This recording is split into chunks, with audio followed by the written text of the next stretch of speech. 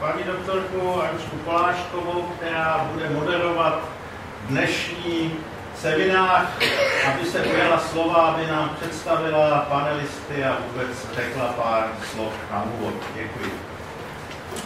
Dobrý, dobré odpoledne, já vás všechny vítám a jsem hrozně ráda, že vás přišlo tolik. Eh, snažili jsme se udělat eh, panel eh, takový komplexní, kde bychom ekologicky příznivé, ekologicky příznivé architektuře, což je jeden z cílů společnosti pro trvalý udržitelný život, abychom tam dostali jak vizi, tak realitu. Vizionářské části řeknu pár slov já a hlavně bude mluvit pan doktor Zygmunt Lender, který je historik umění a architektury, takže to se dovíme vize. A e, potom přejdeme postupně přes e, semi vize e, ekologicky udržitelného rozvoje Brna a Vídně. Přejdeme potom k jednotlivým realizačním možnostem. Takže já začnu malinkým úvodem, dovolím si promítnout eh, z pohledu společnosti pro trvalý udržitelný život jenom několik eh, vybraných bodů, které mě líbily a odborníky pustím ke slovu. Takže eh, bude potom řeč o městské architektuře, to bude povídat paní doktor Bailey. Zeleň na konstrukcích nám představí pan inženýr Julian, který se zabývá profesionálně dlouhou dobu řadou eh, realizací a seminářů a školení na, eh, na téma zelených prvků obytném a neobytném venkovním prostoru.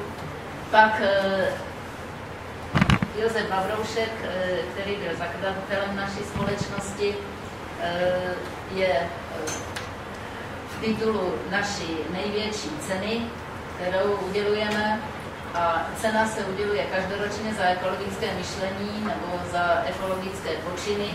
A cenu, eh, jednu z významných cen dostal pan inženýr Libor Musil, který neuvěřitelným způsobem ve firmě, jakých jsou eh, vlastně u nás, jakých je u nás řada, dokázal pojednat svoji firmu, takže je to firma zelená aspoň zvenku. A eh, že má řešené prvky tak, jak by měly vypadat a mohly vypadat všechny firmy, takže to je takový zářný případ, příklad. K pasivním domům budou mluvit dva e, specialisté nejvyšší povolaní z Centra pasivního domu je vypsaná soutěž e, o pasivní dům, takže k tomu se dovíme víc od architektů pana Brotánka a Smoly, kteří přijdou trošku později. A abychom to měli ekonomicky a politicky podloženo. Máme tu zástupce státního životního prostředí, dokonce přímo ředitele e, příslušné sekce, pana inženýra Hrbka, který sedí skromně vzadu, ale on potom přijde. Takže já začnu se svou malou prezentací, já to nebudu přehánět, jenom pár obrázků, abychom nezačali od starých Římanů. Začneme od starých Norů, od starých Vikingů, kteří řešili uh, zelené komponenty svých staveb už uh, před stovkami let. Uh, Tohle to je jedna, jedna historická nebo fotografie historické ulice, kde dodnes po ty stovky let skandinávci pojednávají své střechy tak, že na ně položí březovou kůru a na tom nechají růst drny. Tak to je jenom pro začátek. Je to střecha těžká, dnes bychom asi váhali, ale jim to unese i ten sníh, který zbytne váhu na dvojnásobek. Tohle to je taková moje poznámka, že ekologicky příznivé nebo ekologicky přijatelné eh, bydlení řešila šlechta vlastně po celá staletí, kdy šetřila životní prostředí, tím, že bydlela eh, v létě ve svých letních sídlech, zatímco v zimě se přesunula do města, kde byl život jednodušší. Mnoho důchodců řeší eh, ekologický přístup k bydlení stejným způsobem, to znamená v zimě bez kouře se nechají vytápět dukovany nebo temelínem se nechají vytápět dukovany a v létě bez klimatizace se přesunou do svého letního sídla. Bohatí Němci a Skandinávci to řeší ještě jiným způsobem. Před zimou uletí jako tažní ptáci ze Stockholmu na Kanáry. Na Kanárech e, ovšem tu, to životní prostředí poněkud jaksi e, kazí, protože na Kanárech místo velkých hotelů dnes rostou takové obrovské kolonie apartmánů, kam se přesunuje půlka Skandinávie a půlka Německa na celou zimu. Takže nevím, jestli je to zrovna ekologické řešení.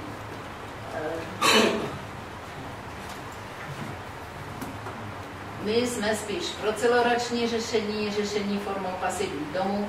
Tomu já se nebudu šířit, protože na to tady mám odborníky a e, formu nízkoenergetických staveb. E, zářným příkladem je Olomoucký Sluňákov, který asi všichni znáte. Až abychom se vrátili k té historii, e, nízkoenergetická stavba, kterou mám velice ráda, je Vila Tugendhat protože ta byla úplně neuvěřitelně řešená už v roce 2830 s centimetrovými skly, s ventilací, e, v podstatě rekuperací, takže to je jeden z příkladů, že e, u nás kvetlo, kvetla ekologické stavitelství už velmi dávno. Další obrázek, který mám velice ráda z hlediska nebo z e, oboru ekologických staveb, je to filozofie, že eh, stavby mají splynout s přírodou, že mezi přírodou, stavbou a krajinou eh, má být eh, harmonický vztah a úplně nejkrásnější příklad samozřejmě jich mnoho, ale centrum Paula Klee u Bernu je takovým příkladem, kde mají přímo všude tyhle nápisy, rolníci tu byli dřív než architekti, architekti se nemají naparovat a mají se přizpůsobit přírodě a okolní krajině. A je to centrum, eh, kde je 40 klejových eh, děl. Vypadá takto a kolem toho roste obilí a pohanka tady. Takže to se mně líbí, to je klejová krajina. Eh, další takový příklad, je, jsou to jenom vytažené příklady, skutečně staveb, které splynuly s krajinou poměrně dokonale, jsou částečně nebo úplně zanořené domy ty se dají samozřejmě realizovat jenom v kopcovitém terénu. Uvidíme, kdo nám, myslím si, že e, Kaplický měl taky zanořený dům někde ve Skotsku. Tak třeba ještě se na nějaký podíváme. E, co bych vám, co mám ráda, kterou knihu mám ráda, je současná česká architektura e, Petra Kratochvíla. Tam je jedna pěkná věta, že samotná stavba, byť sebe ekologičtější, neřeší všechny problémy. Že základem je zakázení s územím. To znamená, že když uděláme pasivní domy a roztáhneme město do obrovského prostoru, tak e, sice dom bude pasivní, ale e, pro krajinu to není ideální. Takže e, řada těch zajímavých myšlenek je právě v monografii Petra Kratochvíla, kde e, jsou příklady od roku 2000 do roku 2010, od rodinných domů až pro ústředí obchodní banky. E, vždycky nahlíženo i z hlediska ekologického. No, e, jak jsme říkali, rozpínat se nemají ani nejekologičtější stavby, takže proti rozpínání měst je tady tento, řekla bych, extrém. No, je to, je to futuristický výkřik a jak, jakou bude mít budoucnost, to uvidíme, stojí pár roků. V Miláně stojí dva zelené domy, nevím, třeba je už někdo z vás viděl, já bych je ráda viděla, ještě jsem viděla. A jsou to domy, kde je 800 stromů, 4500 keřů, odpovídá to 20 tisícům e, e, čtverečních metrů lesa, nebo to odpovídá 75 tisícům čtverečních metrů běžné zástavby rodinných domů. Zkusila jsem si to spočítat a když člověk počítá dům, ulici, zahrádku, tak by ta ulice měřila asi kilometr. Takže nahradí tady tenhle dům, nahradí asi kilometr dlouhou ulici. Samozřejmě se tyhle domy objevují i jinde. E, v Torontu e, je, se realizuje dům e, z dřevolaminátu. architekt Berry se samozřejmě nezastavil a pokračuje, takže tohleto město by se měli bylo velice a tam by tepelný ostrov asi už moc nebyl. Uvidíme. No a já bych ještě zkrátila vystoupení. Nakonec měl být film, film o, o Francisi Keren. Já jsem to pojala tak, že to byla vyčpávka, kdybyste nepřišli.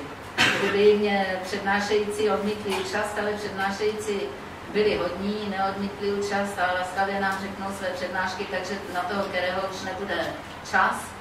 Eh, je to film, který je vyrobený ve Švýcarsku a obrovsky drahý. Hmm, jedna projekce stojí, nebo dvě projekce stojí asi 90 euro, tak jsme eh, se rozhodli, že budeme šetřit. Řeknu vám o kterém jenom pár slov a kdo chce, tak si je, tam, dám vám kontakt a můžete si film půjčit, je úžasný. Je to, začnu trošku ze široka, začnu obecně stavbami v Africe, začnu obecně tím, že dnešní problém je sice ekologicky úsporné stavění v Evropě, ale myslím si, že aktuální problém dneška je ekologicky přijatelné stavění v Africe. A pokud se podaří ekologicky přijatelné a sociálně přijatelné stavění v Africe, pak budeme mít ušetřenou dost velkou část problému. E, myslím, že jste architekti a víte to líp. Nevím, jestli jsme se zapojili do mezinárodní iniciativy stavění v Africe. Existuje velká mezinárodní iniciativa Sustainable Building and Construction in Africa. A jsou do ní zapojeni Němci hlavně, ti to vedou, Švýcaři, Švédové a Finové ti přímo e, vyrábějí nebo přímo spolupracují na architektonických řešeních. Takže pokud by se někdo z našich architektů chtěl zapojit, byl by to velmi záslužný počin. Jsou to stavby samozřejmě velice specifické, ve kterých se, je to e, studená architektura pro horké klima. A teď se dostáváme k tomu. Francisu Keren. Proč jsem ho vybrala do, této, do tohoto panelu? Tady se na nás kouká. Je to příklad, jak by měla vypadat migrace a jak by mělo vypadat řešení afrických problémů a investice do afrických problémů. Je to uh, syn náčelníka z nějaké vesnice eh, z, uh, z Burkina Faso, kterého poslali do školy jako jediného z negramotné vesnice. Ten to dopracoval tak daleko, že se na dostal na Technickou univerzitu v Berlíně, kde vystudoval architekturu a uh, neudělal to, co udělá většina, že by zůstal v Berlíně a dělal pro Němce, že dělá taky, ale vždycky se vrací, každoročně se vrací do své vesnice, kde se jim chce odvděčit. Takže postavil napřed malou školu, pak větší školu a e, má, e, právě v tom filmu je popsán jeho přístup, že e, používá místní materiál, místní znalosti, místní lidi a dělá stavby, které jsou na míru té krajině, a od té malé školy se vypracovala až v budově parlamentu. Eh, letos stavěl pavilon v Londýně taky třeba. Takže to je cesta, kterou kdyby se dělala architektura a civilizace, bylo by to úžasné. Takže vám děkuji za pozornost a ještě přidám svůj příspěvek k ekologicky příznivé architektuře. Jsou tady odborníci na zelené prvky. Já jsem vymyslela instantní zelenou střechu, kterou jsem proti, proti vůli manžela umístila na zahradní domek, kde se místo složitých, eh, složitých výměn střešní krytiny a složitého eh, upevňování eh, vrstvy zeminy vezmou prostě recyklované bedinky. Já jsem dělala na farmaceutické, učila na farmaceutické fakultě, takže jsem si zkoušela rostliny, které vydrží pět let bez, bez jediného zásahu a instantní zelená střecha, bohužel nemůžu se nad realizátora ve větším měřítku, eh, by se dala realizovat za pár korun z recyklovaných nízkých, eh, nízkých eh, přepravek, na které se nasype, dá se netkaná textilie, trochu kamení, trochu hlíny a vybraný netřesk nebo, nebo sukulenty. Takže pokud někdo bude chtít tuhle myšlenku, dávám lidskou k dispozici. A jinak vám děkuji a prosím o, o příspěvek dalšího přednášejícího a to je pan inženýr architekt Zikmund. Dobré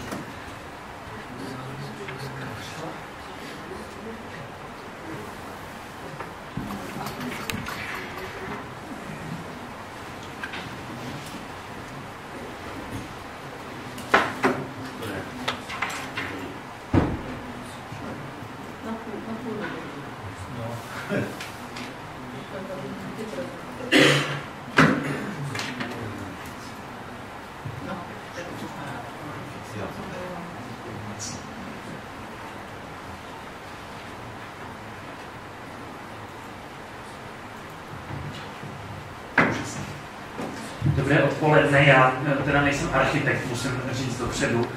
Ehm, já jsem historik architektury a já moc děkuji především za pozvání. Já jsem tuhle tu prezentaci eh, přednášel, když jsme uváděli film Oko nad, Prahou eh, na Dní architektury v Hradci Králové.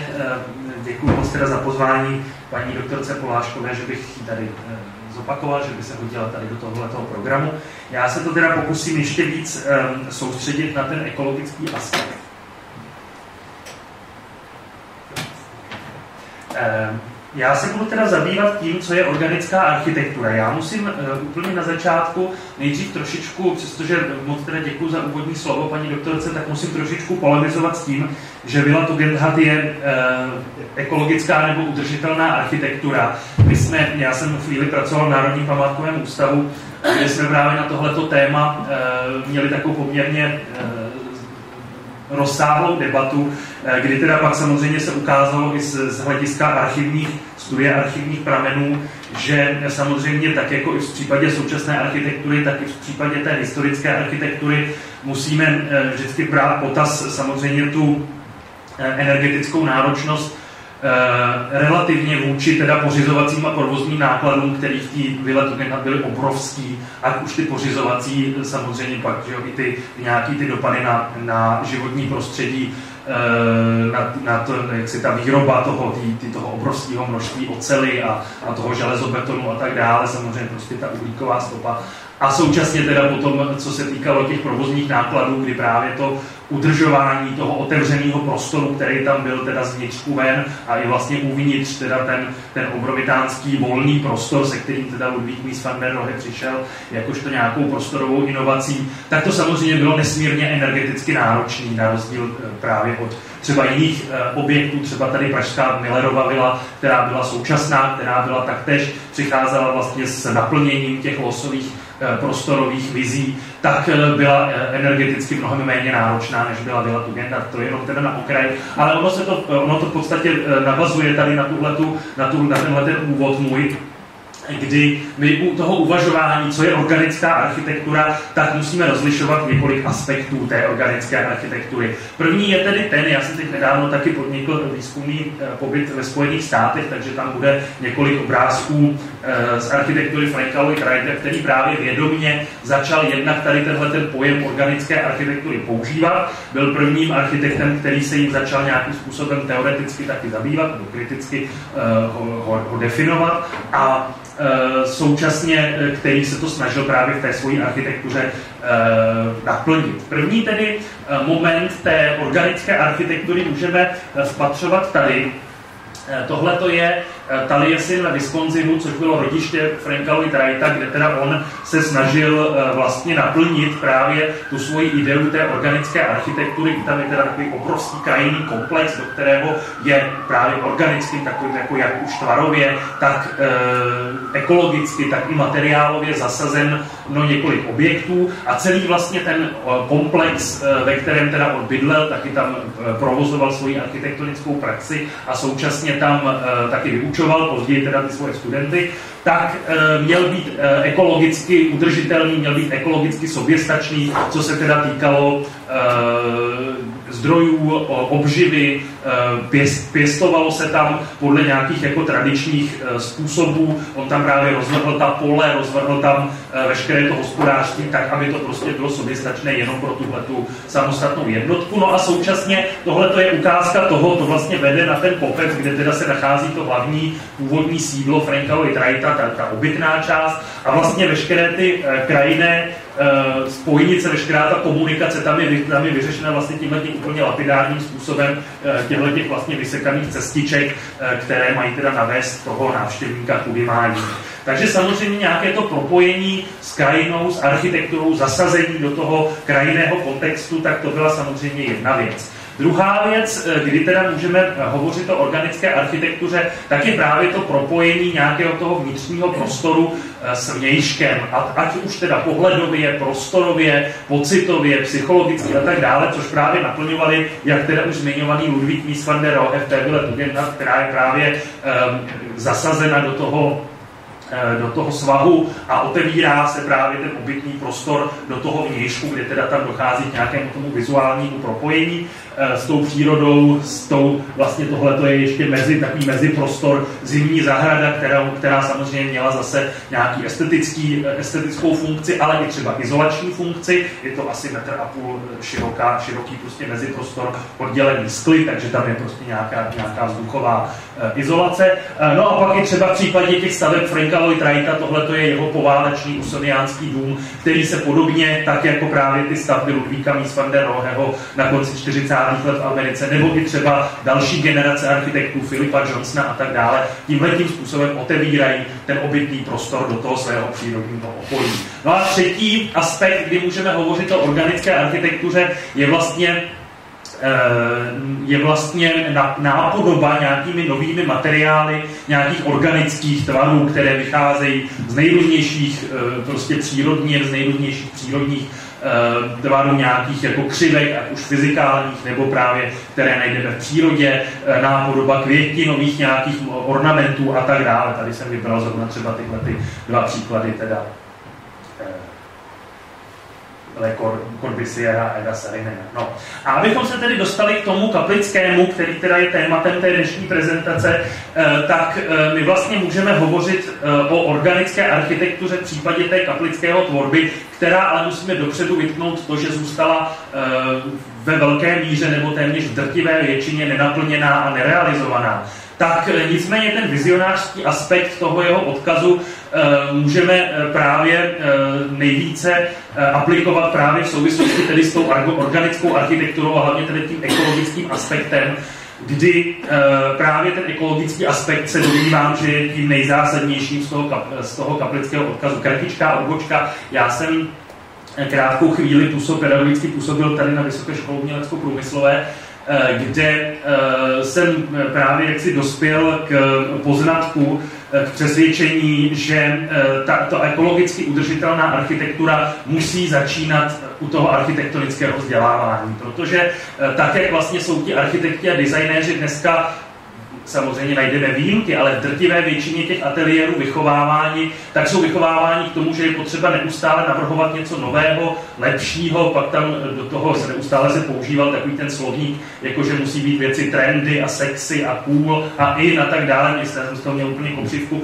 A domnívám se, že právě odkaz tady těchto těch architektů, kteří byli přesvědčeni o pravém opaku, že e, úkolem architektury právě v období klimatických změn je to, aby se stavělo a inovovalo co nejméně nejméně a ideálně vůbec a na co nejdelší dobu, tak eh, to si myslím, že je právě to podstatné eh, na současné architektuře a právě v případě toho kaplického odkazu.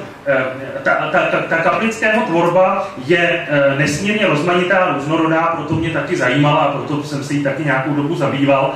Eh, kdy tohle to jsou oboje jeho projekty ze stejné doby, eh, to je eh, horská chata nebo horská kabina, oboje vlastně je to teda řešení téhož úkolu a vlastně už teda na konci 60. let, ještě teda v Československu, přišel tady s touhletou ideou nějakých těch organických tvarů a nějakého toho motivu oka, což bylo právě jedno z jeho takových hlavních tvarových témat, které, které pak teda Eh, hlavně využil při té jedné ze svých mála realizací Lords Media Center v, na tom kriketovém hřišti v Londýně.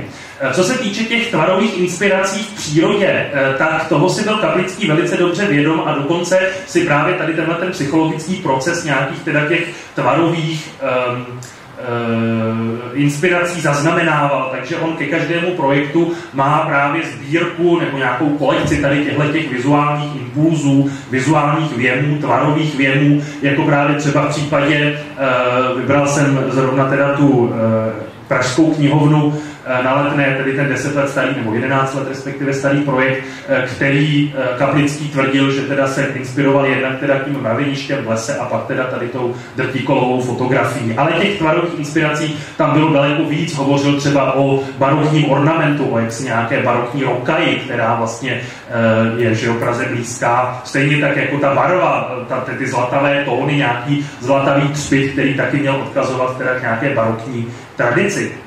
Eh, dalším takovým principem v tvorbě Jana Kaplického byly nepochybně stroje a fascinace nějakými, nějak kinetikou, pohybem a strojovou estetikou, což zase on um, se eh, inspiroval samozřejmě v nějakém, nějaké té meziválečné teorii o bydlení jako stroji a, a tak dále, vůbec jaksi fascinací těch meziválečných avantgardních architektů automobilismem, vlaky, letadly a tak dále. Eh, kdy teda jednak eh, pro muzea, muzeum Enza Ferrariho eh, navrhl tady tuhle tu stavbu, která teda jednak byla, měla respektovat nějaký historický kontext, ale současně měla připomínat teda kapotu, kapotu nějakého rychlého auta, anebo pak i přímo kinetická architektura, tohle je návrh na zase nějakou kabinu, chatu v přírodě, která byla upevněna tady na tomhletom, na téhleté zdvižné zdvižném systému a vlastně měla natáčet toho eh, obyvatele krátkodobého na to ideální panorama, které teda on chtěl. Už tady byla řeč o těch uh, obytných stavbách, které byly zapuštěny do země, tak tu se díváme na ten Donat, tedy dům Kobliha, ve tvaru teda těch britských a amerických koblih, který měl být právě celý zapuštěný v zemi a jenom tam teda byl ten, ten prostřední prostor volný, prázdný, který byl ještě navíc zasklený, takže tam teda docházelo k nějakému kumulování tepla. No a ten samozřejmě, ten dům měl být nízkoenergetický, ten pochází z 80. let, z první poloviny 80. let, a nebo pak tady, tady tahle tato vpravo, takzvaný Greenbird, zelený pták, což měl být první ekologický mrakodrat, který měl být právě pokrytý pláštěm, který měl být e, nízkoenergetický, měl teda e, zamezit plýtvání energiemi a pochopitelně přírodními zdroji. Co se týkalo jeho veřejných staveb, protože Kaplický v podstatě převzal tu Wrightovu e, rétoriku o té demokratické architektuře a těch demokratických institucích, jako byly právě různé vzdělávací, muzejní, knihovní instituce, které byly nositelem tedy moderní společnosti, tak e, navrhoval také celou řadu muzeí, galerií, knihoven a tak dále, nejenom teda tady tu pražskou kdy eh, tady si díváme na několik muzeí, to nahoře vlevo, to je muzeum v Akropoli, na Akropoli v Aténách, eh, to dole je jakási ideální galerie pro 21. století, která měla stát v Londýně, tam to nahoře jsou interiéry, kdy on samozřejmě tam eh, navrhoval i ten, ten, ten adjustační systém a tady to vpravo dole, to je kaplického návrh, on se zúčastnil na sou, soutěže na dostavbu přístavu Tate Modern, která ta soutěž měla už ve svých podmínkách, že to má být nízkoenergetická stavba. Ostatně ta, ten vítězný projekt, který teda byl nedávno realizován, taky taktéž nízkoenergetickou architekturou a současně vlastně úplně stejným způsobem to navrhoval Kaplický. Všechny tyhle ty kaplického veřejné stavby, ať už šlo o školy, galerie, muzea a tak dále, tak měly být nízkoenergetické, většinou byly zapuštěny do země a měly právě nějaký povrch, vymýšlel právě různé systémy, které eh, v zimě kumulovali teplo a naopak v létě eh, to teplo odpuzovali, odráželi, tak aby pochopitelně, zvláště v tom galerijním a muzejním prostředí, byla ta vyrovnaná, eh, byly ty vyrovnané podmínky, vyrovnané klima, vyrovnaná, vyrovnaná teplota, tak jak to ostatně ten historický materiál, který se tam vystavuje, vyžaduje. Eh, no a současně s tím tak kaplického architektura právě díky těm tvarům, ale i těm použitým materiálům, strukturám, tady se díváme vlevo na eh, jeho obchodní dům Selfridge z Birminghamu, který je právě pokrytý takovými hliníkovými kotouči, které mimo jiné měly taky nejenom tu estetickou funkci, funkci nějakého toho pláště, ale právě i e, funkci e, zase, zase teda nějaké nízkoenergetické architektury, tak kromě jiného měly být také navrhovány tak, aby dobře zapadaly do historického prostředí, protože právě všechny tyhle ty významné velké stavby byly buď to přímo na, na, navázány funkčně e, na nějakou historickou zástavbu.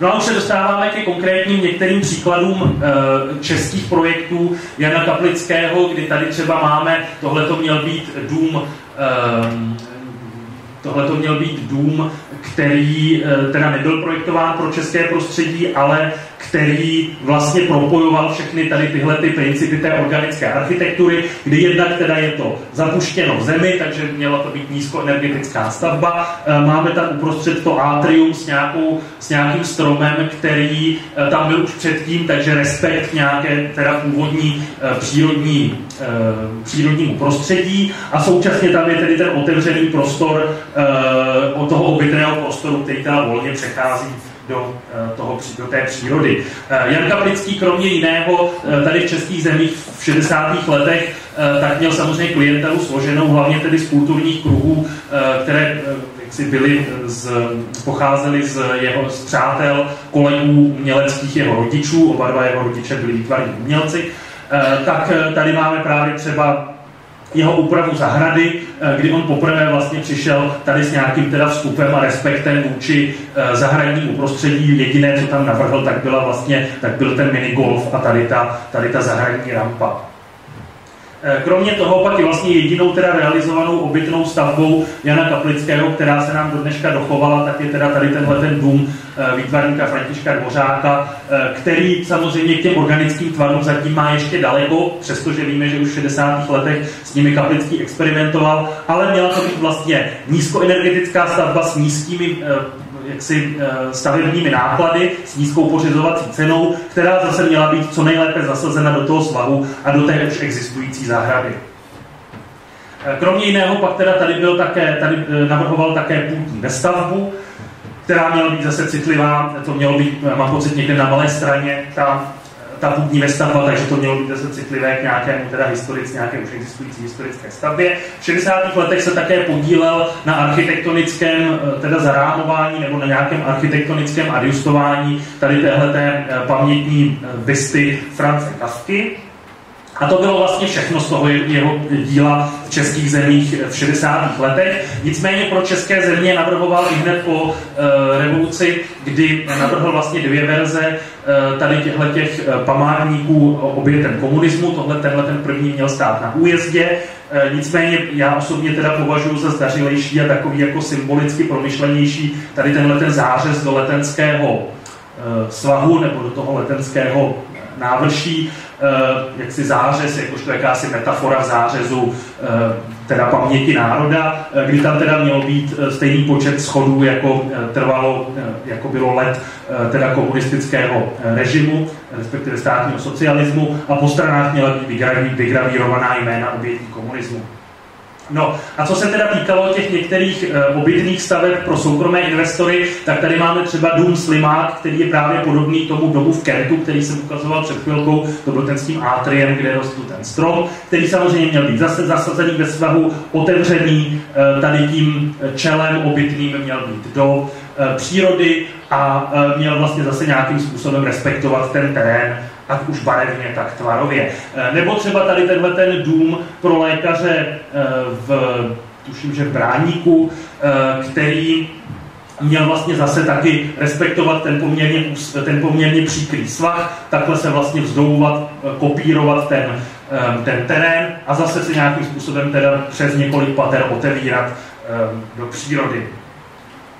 Eh, poslední eh, projekty těsně teda před Kaplického smrtí, tak bylo tady tyhle ty dva domy pro konopiště, což měly být zase nízkoenergetické objekty, ten druhý vám ukážu za chvilku. Eh, první měl být klub Volavka, což mělo být takové multifunkční centrum, kde tam teda bylo, tak bylo území, které si koupil developer a místo toho, aby tam vystavil typové domky, tak měl v plánu oslovit několik jako těchto těch hvězdných architektů, aby tam teda navrhli jednotlivé domy. Mělo to být Eh, právě s respektem k původní, teda k přírodnímu okolí. Nedaleko se nachází eh, chráněná, chráněná přírodní oblast, eh, kde právě hnízdí nějaký speciální druh volavek, přesně si to už nepamatuju, jako, jak, jak, jak, jak, v čem je to speciální, ale prostě nějaký chráněný druh volavek, proto tedy ten klub Volavka, kde měl být klub, mělo tam být mateřská škola, měla tam být kavárna, restaurace a tak dále, takové jako multifunkční centrum pro ty bohaté rezidenty. A pak teda druhý, přímo už teda obytný dům, který zase měl nějakým způsobem vyrůstat z té krajiny a všechny tyhle ty domy měly být nízkoenergetické. To prostě bylo pro Kaplického samo sebou. A úplně posledním projektem pro české země eh, byl teda tady ten Rejnok, nebo respektive kulturní dům Budvar, který zase vlastně eh, dohromady skládal všechny tady tyhle ty aspekty té organičnosti kaplického díle. Jednak teda to mělo zase nějakým způsobem organicky vyrůstat z té městské krajiny, která už vlastně přecházela, měla přecházet na tom pozemku Českých Budějovicích do volné přírody.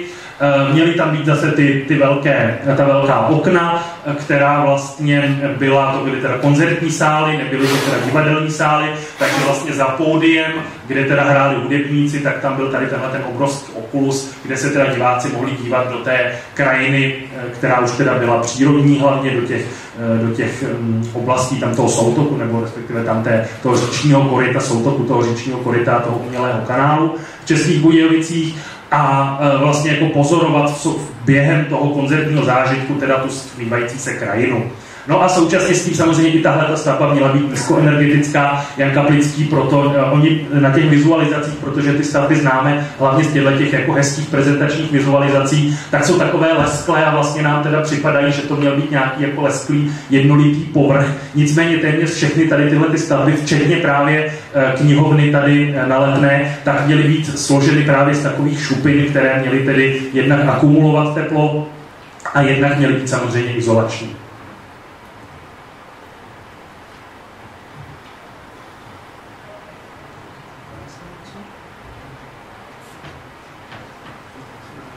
už, už výborně. No a e, vlastně e, tady teda jenom ukázka toho, že to kaplického dílo bylo skutečně nesmírně komplexní od teda navrhování dopravních prostředků přes nějaký design, jídelní design, módu a tak dále, přes ty obrovské, velké vizionářské projekty. Tohle to je vlastně jeho věž po existence, která se měla tyčit vysoko, vysoko nad New Yorkem a která právě měla být e, ekologicky soběstačná. Tam teda vidíme, že to mělo být složeno myslím, že asi ze 14 tady těchto těch obrovských modulů, eh, kde teda tam byly ty jednotlivé obytné budíky a v každém tom patře byla vlastně tahle ta terasa kolem dokola, která eh, měla být teda soběstačná a současně tam byl teda ten, bylo to přikryto, mělo to být přikryto nějakým teda eh, sklem. A těch mělo být asi 14 na sobě, tady těchto těch prvků nebo tady těchto těch jako obrovských modulů. Eh, no a současně, současně pak teda vlastně tady to krajinné řešení ehm, těch jeho jednotlivých projektů, teda v našem případě ehm, toho památníku obětem komunismu, anebo pak vlastně i, těch, eh, i, těch, i ta organičnost těch interiérů, takže byl samozřejmě skvělým interiérovým designérem. A naposled, eh, úplně poslední pozvánka, všechny tady tyhle ty, um, fotografie, nákresy, kresby z kaplického pozůstalosti pocházejí nadaci Kaplický centr. Děkuji uh, za jejich poskytnutí a pozval bych, rád bych vás pozval na stálou expozici v Centru stavitelského dědictví v Plasích, kde jsme před dvěma lety otevřeli tady tuhletu um, expozici kaplického díla. V loňském roce jsem ještě dělal um, výstavu kaplického díla v tančícím domě. Tak to je všechno. Děkuji vám za pozornost.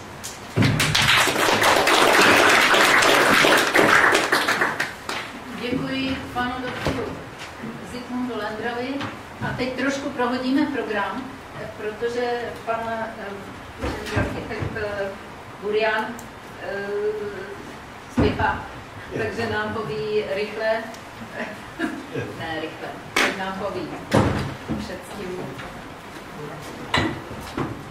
Vítám pana Vladimíra a dovíme se něco o zelené konstrukci. Možná, možná Možná.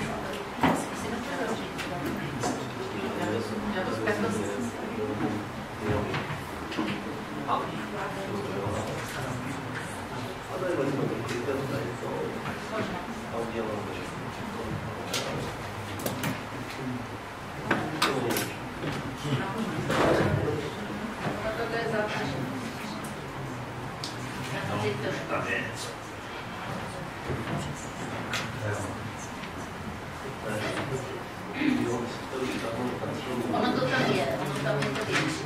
No, nic,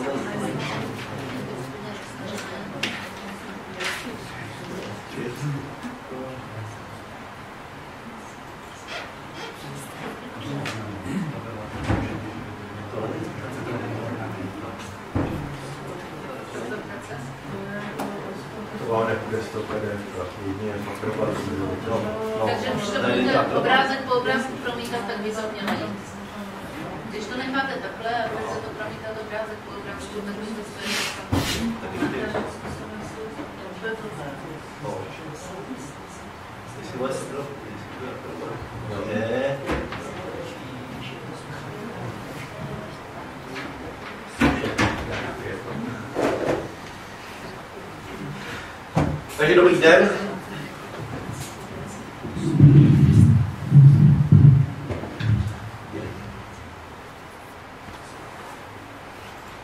Eh, já mám mluvit na téma vegetace na konstrukcích.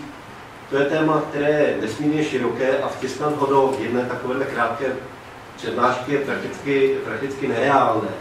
Takže to bude skutečně jenom veliká zkratka a e, spoustu věcí tam nebudu schopen eh, říct, protože to bychom tady museli být skutečně od rána do večera, protože na některé dílčí otázky pořádám semináře, které jsou co E, nicméně, co si tou vegetací na konstrukcích e, můžeme, co si pod tím můžeme představit. A tady máme nějaké první úvodní obrázky, na kterých vidíme, že vlastně to téma, které není úplně nové, a vlastně vegetaci na konstrukcích můžeme vystupovat už ve starém Egyptě, eh, vysuté zahrady královny Semiramis, eh, můžeme vegetaci na konstrukcích najít ve Skandinávii, na Islandu, ale dokonce i v Africe a v jižních státech, kde, je, kde jsou budovy pokryté nějakou vegetací už po staletí. A můžeme najít i naprosto moderní budovy, jako třeba tady to, tu italskou budovu v Miláně, ten rakodrap zeleněný na těch terasách. Čili zelení na konstrukcích rozumíme jednak zelené střechy nebo střešní zahrady, ale také kroucí dřeviny, které mohou ty fasády pokrývat. A to, co je dnes moderní, ale také to není úplně nové, tak jsou takzvané vertikální zahrady a jaký je mezi tím rozdíl mezi vertikálními a kroucími dřevinami, to si povíme na chvíli. Zelené střechy, eh, to je téma, které v současné době trošičku se začíná u nás rozjíždět. Máme tady představitele Státního fondu životního prostředí.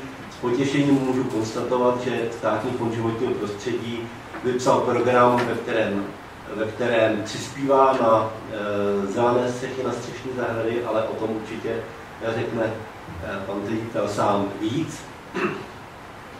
A je to téma, které je velice, nebo je to způsob eh, aplikace vegetace na, budova, na budovy, jeden jaksi z, nej, z nejvhodnějších a nejpříhodnějších a eh, způsob, který přináší nejvíce výhod. Ale zároveň je to něco, co je opět velice široké a ty zelené střechy mohou mít nesmírné množství podob od extenzivních zelených střech, které jsou na 3-4 eh, cm substrátu, to jsou ty netřesky tady té paní doktorky, které jejíž předobraz můžete najít na okresních silnicích, eh, na okrajích asfaltu, kde se splaví ty 2 cm nějakého prachu a ornice a eh, vyrostou tam, vyrostou tam samovolně rozchodníky až po zelené střechy, které jsou na velké vrstvě substrátu a které vlastně ani nepoznáte, že jste na střeše, protože takový, takové střechy jsou i například tady v Praze, protože jsou vlastně v rovině s partérem, protože nejsou na střeše někde nahoře na budově, ale jsou na, nějakých, na střeše nějakých garáží a vy z terénu přecházíte na zelenou střechu a vůbec o tom netušíte, protože je normální park. A dokonce se objevují zelené střechy, i, e, které mohou fungovat jako e, čističky odpadních vod. E, tady je také jeden obrázek, to je tento obrázek tady vpravo dole, to je tady z Prahy, kde ve vnitrobloku je postavena dřevostavba, která má na střeše zelenou nebo střešní zahradu, která má formu, formu čističky No. No, odpadní voda. No. Prostě protéká tam, ta odpadní voda tam protéká štěrkem, který je osázený e, vlhkomilnými bahenními rostlinami, přečišťuje se a ta rostlina je potom zpátky schromažďovaná a využívaná jako užitková voda, která je naprosto čirá, nezapáchá, je naprosto v pořádku. A příklad takové exkluzivní střešní zahrady, tak vidíte vlastně na tom obrázku nahoře. Eh, to je střešní zahrada na eh, světu techniky v Ostravě Vítkovicích. Vidíte tam vzadu ty, eh, ta železná monstra, která jsou vlastně památkově chráněná. A opět ta zahrada vypadá, jako kdybyste byli někde prostě na louce v přírodě. Jsou tam kmeny tlející, mezi tím jsou nějaké kapradiny a, a tak dále. A tak dále.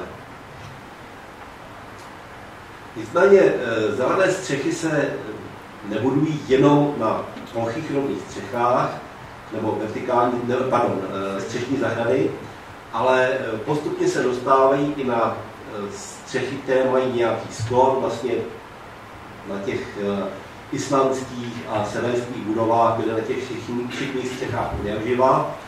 Ale potom se začaly překlápit do stále větších a střednějších sklonů, například u Anděla je eh, střecha, která má sklon zhruba 60 stupňů a pak už je jenom krůček k tomu, že tu střechu vlastně sklopíte nebo tu střešní zahradu sklopíte až úplně do svisla a vlastně tím získáte něco, čemu se dneska říká vertikální zahrada, protože to vlastně vegetace, která je pěstovaná na té svislé, svislé ploše. Ono to jako vypadá jednoduše, vypadá to, že vertikální zahrada a střešní zahrada jsou si velice blízké a podobné, ale opak je pravdou, protože tam jsou naprosto rozdílné podmínky. U té střešní zahrady, i když je třeba šikma, tak vám tam na tu střešní zahradu prší a je možné zvolit takovou konstrukci a takovou vegetaci, že ta zahrada může fungovat v podstatě, eh, nechci říct bez údržbově, každá zeleň potřebuje nějakou údržbu, ale bez zálivky a bez prostě e, intenzivních zásahů pěstení. A navíc ta vegetace tam drží přirozeně vega, e, gravitací.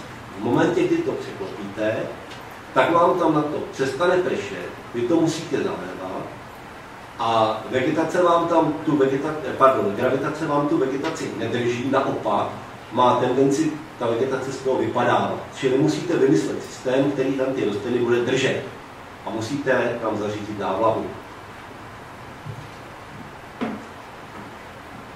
Tady je takový pokus jakéhosi schematického rozdělení všech těch eh, způsobů vegetace na, na budovách.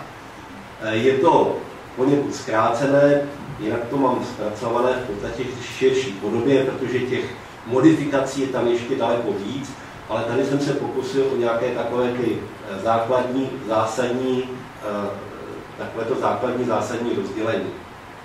Takže tu vegetaci, kterou chceme dostat nějakým způsobem na konstrukci, na stavbu, na fasádu, tak můžeme eh, pěstovat tak, že bude zasazená přímo v terénu. Čili bude spojena s terénem a z toho terénu, kde bude kořenit, tak bude na tu stavbu vyrůstat. To jsou klasicky pnoucí dřeviny. Pnoucí dřeviny vysázíte kolem stavby a na tu stavbu je pustíte a oni nějakým způsobem porostou. Eh, I tuhle skupinu můžeme rozdělit dál na dvě podskupiny. Buď jsou to rostliny, které se na té stavbě nebo na té konstrukci udrží sami, jako je Parthenocezus tricus pirata, jako je křečťan, jako jsou některé další rostliny, protože mají takové orgány k uchycení, kterými to dokážou i na tom hrubém, někdy i hladkém zdivu. A pak máte vegetaci na konstrukci proucí dřeviny, které potřebují nějakou oporu. To jsou ovíjivé rostliny, liány, které se obtáčejí nebo které mají úponky jako na a které potřebují nějakou konstrukci pomocnou, ke které se přichytí. Pak můžeme použít vegetaci, která je nespojená s terénem, to znamená, která je vysázena přímo na tu konstrukci, na tu zeď. A buď to může být zase nějaký policový systém, že jsou to nějaké římsičky, na kterých jsou koryta, různé nádoby, z kterých ty rostliny rostou. Nebo to může být modulární systém, kdy jsou to celé velikánské moduly, které mají z boku nějaké otvory, jsou vyplněné substrátem a ty rostliny rostou v těch modulech eh, z těch jednotlivých otvorů. A nebo to může být plošná konstrukce, která je vytvořena jako jeden celý systém přímo na místě. Eh, jako plošná konstrukce bývají nejčastěji eh, právě realizovány vertikální zahrady od Patrika Blanka, které jsou dokonce bez substrátu, kde je pouze textilie a o tom se zmíním potom za chvíli dál. Ale když se podíváte dolů na ty šipčičky, tak vidíte i rozdíl v náročnosti těch jednotlivých řešení. Ty pnoucí dřeviny e, většinou vystačí s tou e, vláhou, kterou mají přirozeně v té půdě, která tam neprší, nemusíte je zalévat, nepotřebují žádnou dotaci nějaké další energie k tomu, aby to tam mohlo fungovat. Prostě tam zasadíte a necháte je růst, nebo je zasadíte a vybudujete jim tam nějakou konstrukci a opět je necháte růst. Čili je to, je to vegetace, která je nenáročná, nezávislá příliš na člověkovi eh, a na jeho péči. Ty vertikální zahrady, tam je to podstatně horší, protože tam už skutečně musíte zajistit pravidelnou závlahu, to znamená, má to nároky na vodu, má to nároky na energii, eh, která musí výdat někdy velmi složité systémy eh, k tomu, aby eh, tam nedošlo někde k nějakým uschnutí a podobně. A teď je otázka, proč vlastně investovat do té vegetace na konstrukci. Tak uh, jsou to důvody, které jsou, uh, myslím, velice vážné a jsou, jsou to důvody, které jsou stejně důležité jako omezování uh, oxidu uhličitého ovzduší. Protože když se podíváte tady na letecký snímek například oblasti Černého mostu a vidíte tam snímky, které od sebe dělí pouhých 11 let, a vidíte, co se tam stalo, jaké obrovské množství půdy a vegetace se tam zabralo a místo toho jsou tam spevněné plochy a e, stavby. A když se na to podíváme v celosvětovém měřítku, tak je to ještě drastičtější. Vlastně v porovnání s Prahou, když si to vezmete, tak e, každý den na světě, každý den na světě zmizí jen o něco málo méně kilometrů čtverečních e, lesa, než jakou rozlohu má Praha. Je pravda, že něco málo se opět zalesní, ale pořád ten rozdíl je obrovský. A opět obrovské plochy pouště, které každý den na Zemi přibývají. A velký podíl na tom, že upívá vegetace a že se mění klima, tak má nejenom ten oxid uhličitý, ale právě i ta změna pokryvu zemského povrchu, protože když se podíváte potom, jak vypadá energetická bilance eh, záření, které dopadá na zemský povrch, jak to vypadá v případě, že dopadá na krajinu, která je porostlá vegetací, tak eh, většina té energie se nějakým způsobem třeba nebo se eh, vrátí do atmosféry v podstatě v podobě vlastně ochlazování transpirací. A jenom malé množství té energie ohřívá ten vzduch tak jakože pocitově. Když se podíváte na město, tak tam transpirace je prakticky nulová na těch stevněných plochách a veškeré to teplo se vlastně drží, zadrží v tom městě a vzrůstá tam jeho teplota.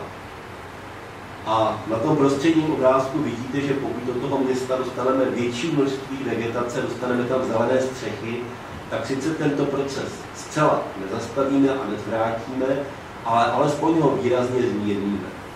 Čili z toho vyplývá, že nejsme schopni tomu úplně zabránit. Do tomu schopni úplně zabránit jedině tím, že se nebudou ty eh, zastavené plochy rozlézat. Ale když už se rozlézají, tak to můžeme alespoň nějak částečně změnit.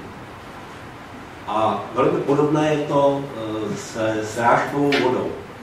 Srážková voda, která dopadne na vegetaci, tak se větší část stáhne a jenom nepatrné množství odtéká. E, část se stáhne do spodní vody a část je těmi rostlinami opět odpařena do ovzduší, e, které jednak tím ochlazuje a jednak opět zvlhčuje. Na stevněných plochách naprostá většina té vody odteče.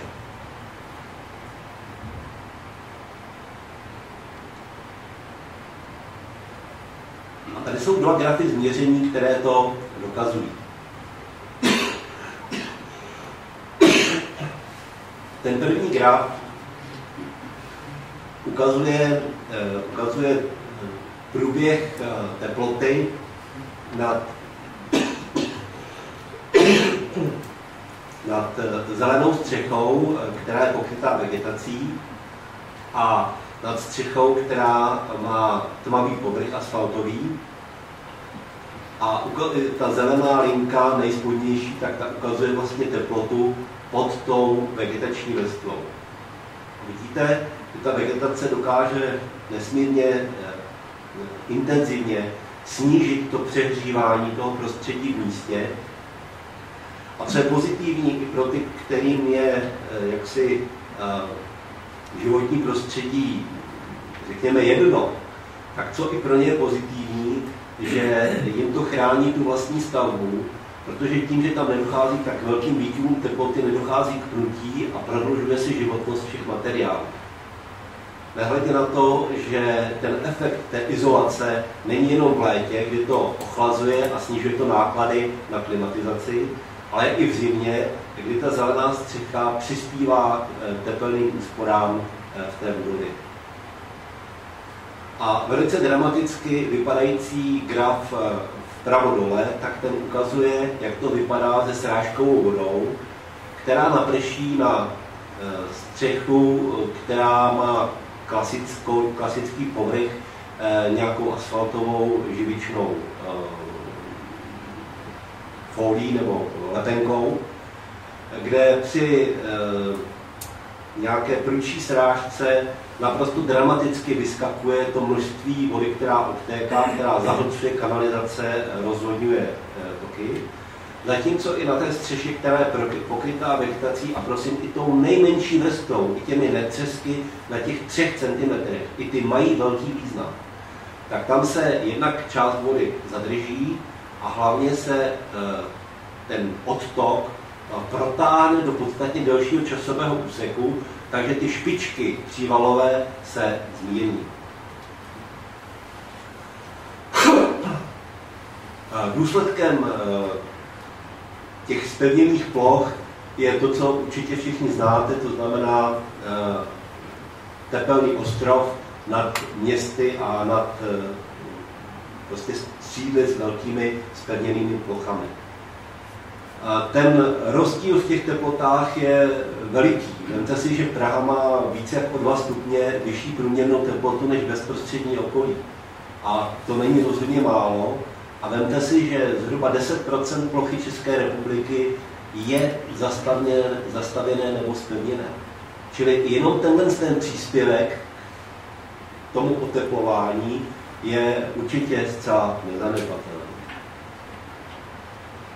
A e, v širším globálním měřítku tak je dobré si e, připomenout e, poslední teorie, které, řekněme, vyvolaly i určité kontroverze, ale která, teorie, která se zdá být, že opravdu funguje, a to je takzvaná biotická pumpa, čili to je jakýsi princip, podle kterého vegetace pomáhá distribuovat srážky dál do vnitrozemí. A tam, kde je eh, krajina pokrytá eh, souvislé lesy a vegetací, tak se ty eh, srážky dostávají i na stovky kilometrů daleko, zatímco v místech, kde ta vegetace není, tak ty srážky vlastně končí hned pobřeží, hned na pobřeží moře.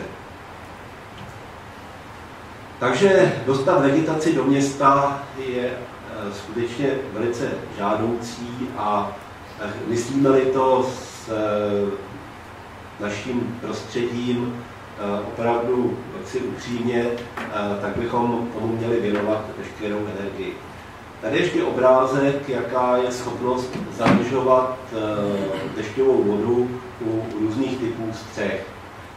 Je to tady čistě schematicky, nejsou tady žádná konkrétní data, nicméně na těch střechách, které jsou bez vegetace, odteče prakticky veškerá voda na těch střechách, které jsou intenzivní e, střešní zahradou, kde je vyšší mocnost té, toho substrátu, pěstují se tam rozmanitější kultury, tak tam odtéká jenom velmi malé procento té vody, někdy se, někdy se tam zadrží prakticky veškerá voda.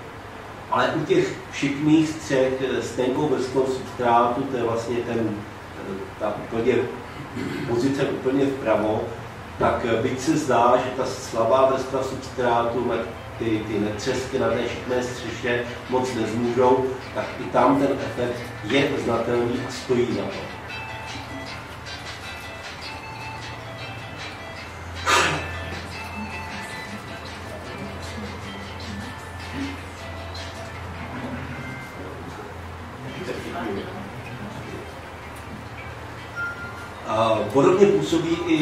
Proucí dřeviny. Tady je to v nějakých diagramech, jak to funguje, čili chrání před přehříváním, fasáda, která pokrytá těmi pnoucími rostlinami, tak má o 20-30 stupňů e, nižší teplotu, když je ozářená sluncem, než by fasáda, která je nepokrytá. Chrání to fasádu před e, kyselým deštěm, e, před prachem, před hlukem a tak dále a e, o čem se málo mluví nebo co je zajímavé, takže u starých staveb, které nemají e, kvalitní nebo nemají vůbec žádnou hydroizolaci e, dole na té základové spáře, tak vlastně ty pnoucí rostliny odčerpávají vodu právě z té základové spáry tím konkurují těm základům a ta voda se nedostává do těch základů a nedostává se do toho zdiva. Čili představa mnoha lidí, že budu tam mít na to nějaký břečťán, ono mi to bude pod ním vlhnout, tak je naprosto falešná, je to naprosto naopak. Ty rostliny vysušují tu půdu toho základu, chrání před eh, šikmohranými srážkami a přitom umožňují provětrávání, čili ta fasáda zůstává vlhká. Ten obrázek v prostředku, jenom, jenom pro zajímavost, tak to je z japonská firma Kyocera, která tímhle způsobem řeší zastínění, eh, zastínění kanceláří u své budovy. A ten obrázek vpravo dole, tak to je 25 eh, metrů vysoký břešťan eh, na jednom sídlišti na paneláku a vidíte, že i 25 metrů ty rostliny dokážou zvládnout. Kdybychom měli potom porovnat, jaké jsou výhody a nevýhody pokrytí stěn eh, u budov plnoucími dřevinami a vertikálními zahradami, tak tady docházíme k zajímavým zjištěním. Pořizovací náklady na proucí dřeviny jsou naprosto zanedbatelné, v podstatě v desítkách korun na metr čtvereční, zatímco u vertikální zahrady se ty náklady pohybují eh, v desítkách tisíc na metr čtvereční. Proucí dřeviny jsou prakticky úplně nezávislé na energetických zdrojích, zatímco ty vertikální zahrady eh, jsou trvale závislé na energii a dvoudenní výpadek elektrického proudu může znamenat zánik fasády za mnoho eh, desítek tisíc Proucí dřeviny mají díky tomu i vysoký přínos pro energeticky úspornou architekturu, protože eh, pomáhají vlastně klimatizovat to prostředí. Zatímco u těch vertikálních zahrad sice to funguje taky, ale za cenu dodání velkého množství energie z nějšku, čili ten efekt se ztrácí. Naopak ploucí dřeviny, jejich nevýhodou je to, že mají pomalý nástup účinku. Mají dlouhý vývoj, takže než ten dřečťan vyrostl do těch 25 metrů na té fasádě, tak trvalo také zhruba 25 let. Rostl tam ten, ten zhruba metr za rok. Zatímco když vezmete vertikální zahradu, tak ji pověsíte na zeď a ona okamžitě funguje. Ty ploucí dřeviny sice dokážou dorůst do 25 metrů, možná i výš, ale to je také jejich strop, více nedostanou. Vertikální zahradu můžete teoreticky pověsit do 50 metrů. Proucí dřeviny jsou primárně v exteriéru skutečně tam, kde to je e, jenom trochu možné, tak tím nejideálnějším řešením, jak tu fasádu, jak na fasádu dostat nějakou vegetaci. Vertikální zahrady, přestože tady hovořím o těch jejich, o, o vysokých nákladech a různých nevýhodách, tak eh, pokud je použijeme v interiéru, tak mají své opodstatnění a v interiéru určitě stojí za to o nich přemýšlet. Ještě chvilinku malinkou, protože mě to, když mluvím o těch vertikálních zahradách interiéru, tak uh, nemohu pominout uh, vertikální zahrady, které se začaly budovat původně v Kanadě, pak se dostaly i do dalších zemí v západní Evropě a kterým se říká biowall jako biologická stěna, které vycházejí z principů, které odhalili v NASA při výzkumu, který se si pořádal kvůli, kvůli eh, dlouhodobému pobytu člověka ve vesmíru. A kdy přišli na to, že rostliny dokážou z ovzduší odčerpávat velké množství škodlivých látek, selektivně a různé druhy, různé množství a různé látky. Jenom pro zajímavost, eh, eh, takový ten blázen, co roste v každé hospodě, Eh, tak eh, to je rostlina, která eh, enormním způsobem dokáže odčerpávat z vzduchu formaldehyd, který se dostává v interiéru do ovzduší z dřevotřísek a podobně. A ta stěna, která je tady na tom barevném obrázku, ta je z jednoho nádraží ve Francii a princip té stěny je nakreslený na to schéma, to znamená, že ta stěna eh, vegetační je napojená na vzduchotechniku a vzduch se vlastně, který prochází tou technikou, tak prochází jako filtrem přes ten substrát a přes ty rostliny na té stěně a zadržují se tam velké množství právě těch, těch nežádoucích látek a výrazně se zvyšuje kvalita toho vzduchu v tom, kvalita toho vzduchu z, z té klimatizace. Když se na to podíváme zpátky na tu obrovskou šíři, skutečně z toho byly jenom střípky, tak eh, těch možností je celá řada od těch nejjednodušších až po ta nejsložitější. A eh, tady před časem, žel, eh, u nás měl přednášku Patrik Blanc, to jméno možná znáte, je to francouz, který se proslavil právě tím, že po celém světě buduje vertikální zahrady, bude vertikální zahrady, které jsou bez substrátu, je to jenom několik vrstev geotextílie, která je zavlažovaná jako hydropony, tím ty rostliny rostou. Při té přednášce, která se eh, byla uspořádána ve francouzském institutu tady v Praze, eh, tak tam bylo obrovské množství architektů, obrovské množství lidí a byli strašně nadšený, protože Patrik Blank je vynikající řečník. A tam jsem pochopil, eh, že to, co se může vydávat jako příspěvek pro životní prostředí, ve skutečnosti vůbec žádným příspěvkem být nemusí.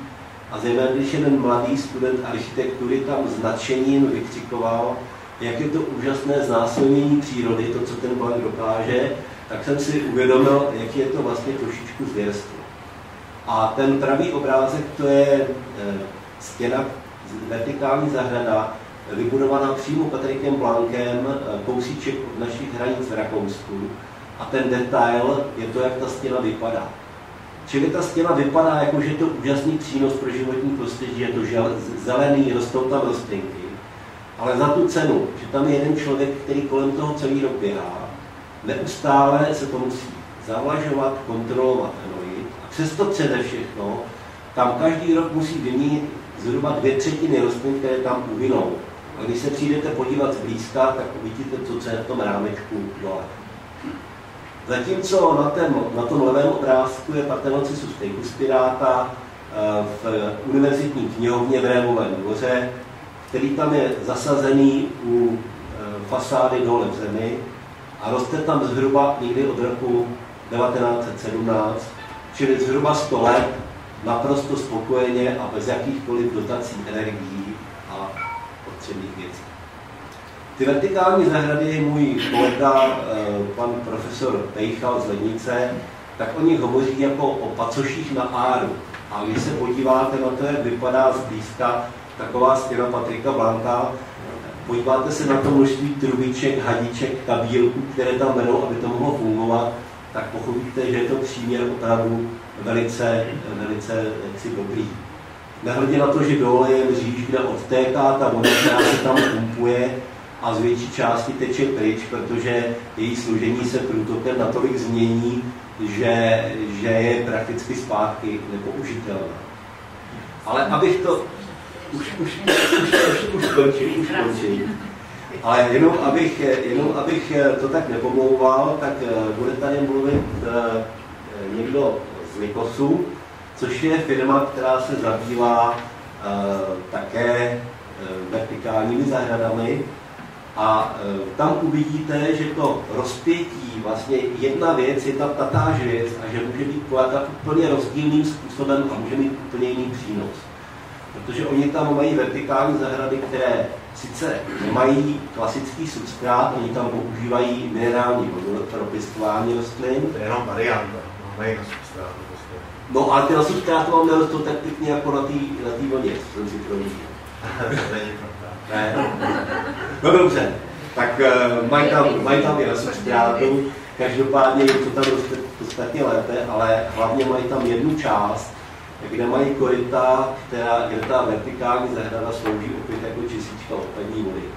Čili, ale to vám řekne tady pan kolega určitě sám uh, s příslušnými fotografiemi. Čili skutečně to rozpětí je obrovské a vždycky je potřeba uh, přemýšlet nad tím, jestli to konkrétní řešení je skutečně příspěvek pro životní prostředí, anebo je to jenom jaký, jakýsi exhibicionismus architekta, který chce dokázat, že i toto jde a za cenu, jako za jakoukoliv cenu. Jako budu šetřit, ať to stojí, co to stojí. A tím vám děkuji za pozornost. Omlouvám se, že jsem se tak dlouho vykecával.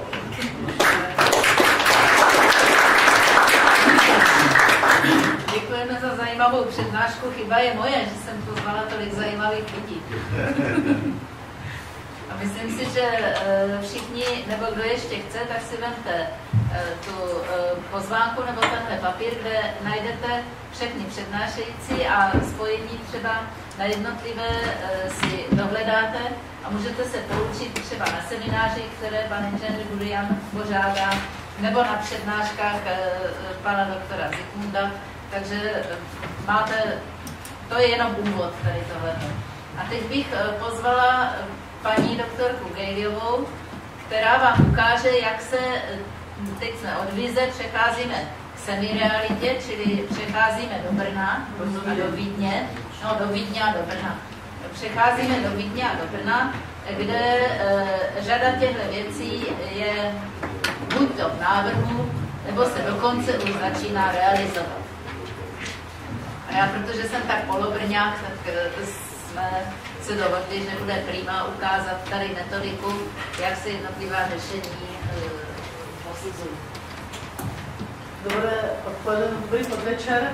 Já moc krát děkuji Aničce Koláškové nejen za pozvání, eh, které jsem původně odmítla s tím, že se nám dneska nepodaří přijet do Prahy, ale taky za to, že ona někde, nevím vůbec, kde našla eh, tady tuto naši eh, společnou práci a eh, zdálo se jí, že se do toho dnešního semináře hodí, tak připravila i tu prezentaci, to se mi ještě v životě nestalo. No, já jsem, ono to bylo jednoduché, protože pan doktor Holland, tedy manžel paní doktorky Gejliové, byl býval členem stůž a když jsem se obrátila, jestli mají něco, něco k těmhle strategiím, tak eh, mě odkázal na tuhle práci, takže já za to nemůžu.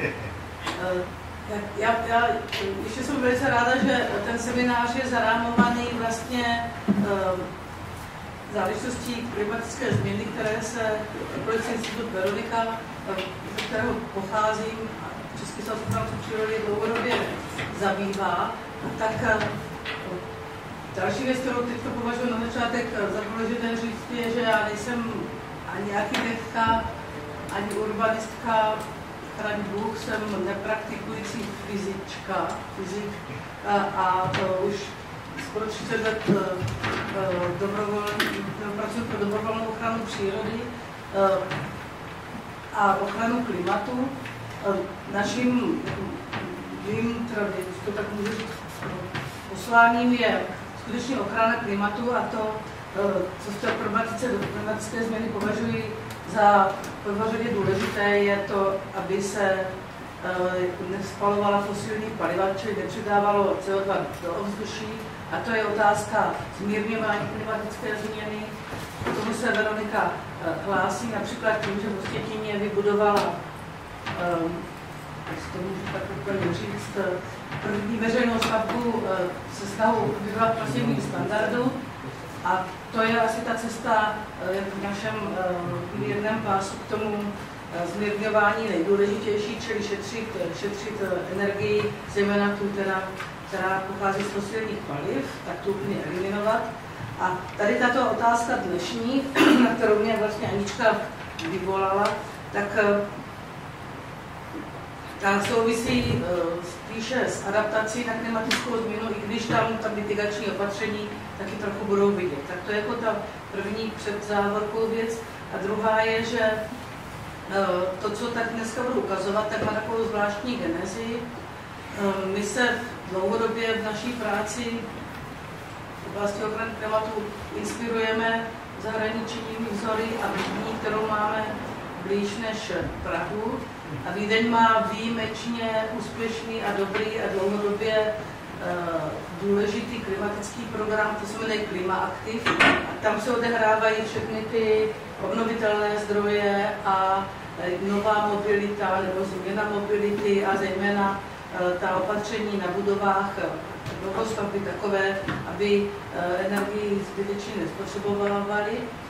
A ta záležitost boje nebo čelení tomu těm následkům klimatické změny, kterým se už jako bohužel nemůžeme vyhnout, a to jsou vlny veder a ty přívalové srážky, sucha a podobně, tak ta je předmětem přímo ve Vídni studia toho, co už tady bylo předřečníkem báječně zmíněno, a to je ten tepelný ostrov města a, a co s tím dělat.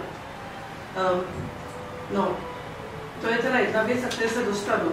Ale vy tady vidíte titulní stránku jako jiné studie a to je záležitost eh, naše kolektivní v Brně eh, společně s kolegy eh, z nadace partnerství, když jsme městu, které teďka konečně tam přistoupili, přistoupilo k ochraně klimatu jako k té úmluvě primátorů a starostů, tak my jsme se jim snažili nabídnout spíš než zásadní opatření v oblasti uh, adaptace na klimatickou změnu, tak spíš takovou jako osvětovou, uh, osvětový návrh, aby se ukázalo jak politické reprezentaci, tak veřejnosti, tak úředníkům, že uh, některá opatření se dají udělat rychle, hned, že mohou být vidět a že přinesou v rámci toho teplného ostrova jakési řešení, jakousi úlevu, na kterou pak má navázat, jako má navázat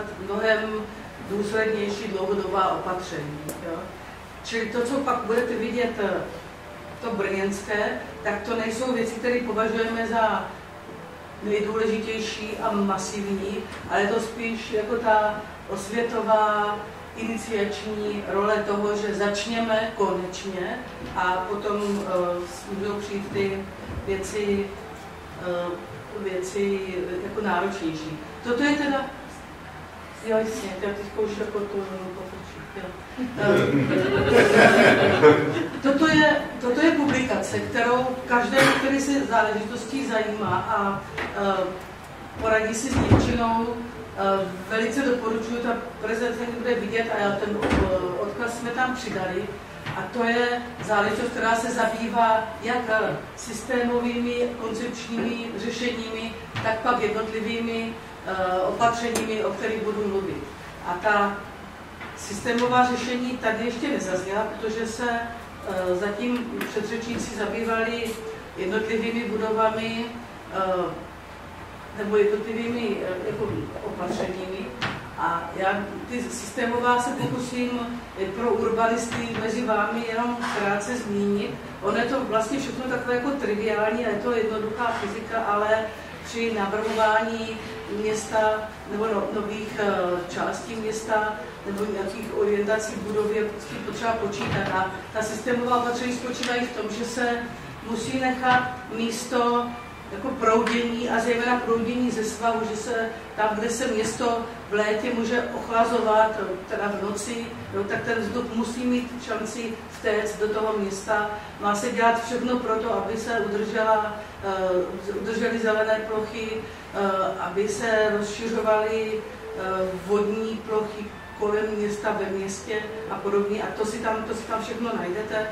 Uh, uh, jako, uh, Jo, to si tam všechno najdete a prosím, podívejte se na to, protože uh, oni mají v té Vídni nějakou jako velkou schopnost ty věci poměrně rychle a systémově uh, udělat a, a důkladně zpracovat, což v závěr, na, na, jako za chvíli ukážu. Ten obrázek v jiné podobě jste už viděli, čili jako to, co uh, na co se teďka obracíme, je tepelný ostrov města, který může znamenat v té průměrné teplotě jako velikánský rozdíl a v těch okamžitých letních teplotách jako neskutečný rozdíl, jestli jste na náměstí tmavě vydlážděném, anebo, eh, nebo pod stromem, nebo v nějaké jako zelené, zelené části města. No a to, co teda jako doufám, že tady vnášíme novýho a co může být jako velmi dobrým vodítkem pro lidi, kteří o těchto věcech musí rozhodovat a pak se eh, s nimi jako, eh, pak je prosazovat, tak to je takové posouzení jak nákladovosti těch jednotlivých opatření, tak toho dopadu, co, co, co řeší jako v oblasti jako mikroklimatu toho místního nejbližšího, klimatu, nejbližšího efektu v tom, nebo u toho opatření u budovy, nebo jako nějakého vzdálenějšího, co, jako, jaký je příspěvek k posílení biodiverzity ve městě a ke kvalitě života, to je ta pravá strana té pavočiny a ta levá, jo, ta levá se zabývá tou pořizovacími náklady a potom náklady na údržbu. Ukážeme to na příkladech větší plocha, tím lepší. Jo. Čím víc, jako čím je to zelenější, čím to bude zabrané, tím je to lepší. Eh, ty uh, opatření, které nejvíc přispívají na té pravé straně, tak jako od trojky to je to nej... Já jsem to musela zbytečně.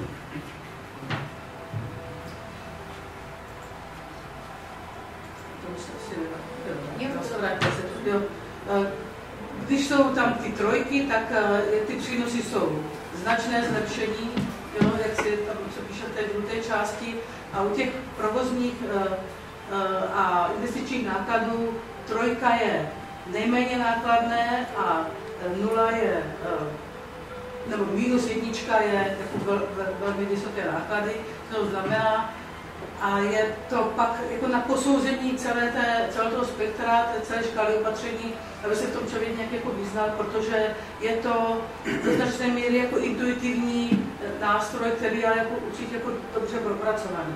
Jo? Tak uh, teď se teda už z té oblasti, co tam ti výdeňáci mají, přesuneme do pár návrhů, které jsme se snažili Brnu přiblížit v tom ohledu, aby se do toho co nejrychleji pustilo. Jedna věc je doprovodná zelení ve městech a to jsou, to zelené jsou trávníky podél ulic a to modré jsou ozelenění kolejišť. Na té straně těch přínosů environmentálních, tak tam obě dopadají stejně, ale co se týká té nákladovosti, tak samozřejmě to, to mezi těma kolejema je, je dražší a někdy to taky třeba i v Brně vyžaduje zalévání, tak takhle se dá rozhodovat, ale jako hodí se jistě obojí. Jo? Další věc, kterou já teda jako nejvíc miluju z té, z té knihy, je úplně jako jednoduchá, nejedná se vlastně nákladově o nic. A je to to, co se dříve nazývalo vincem a je potřeba to polit pokud možno glyfosátem.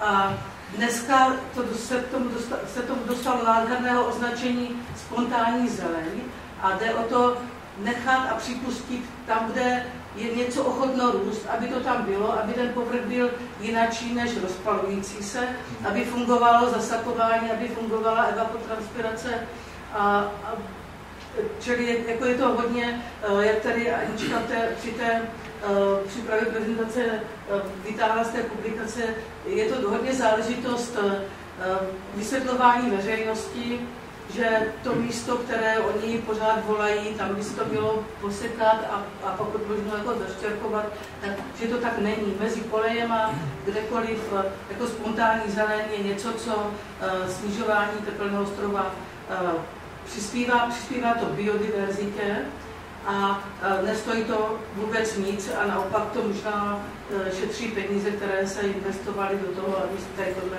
tohle uklízelo.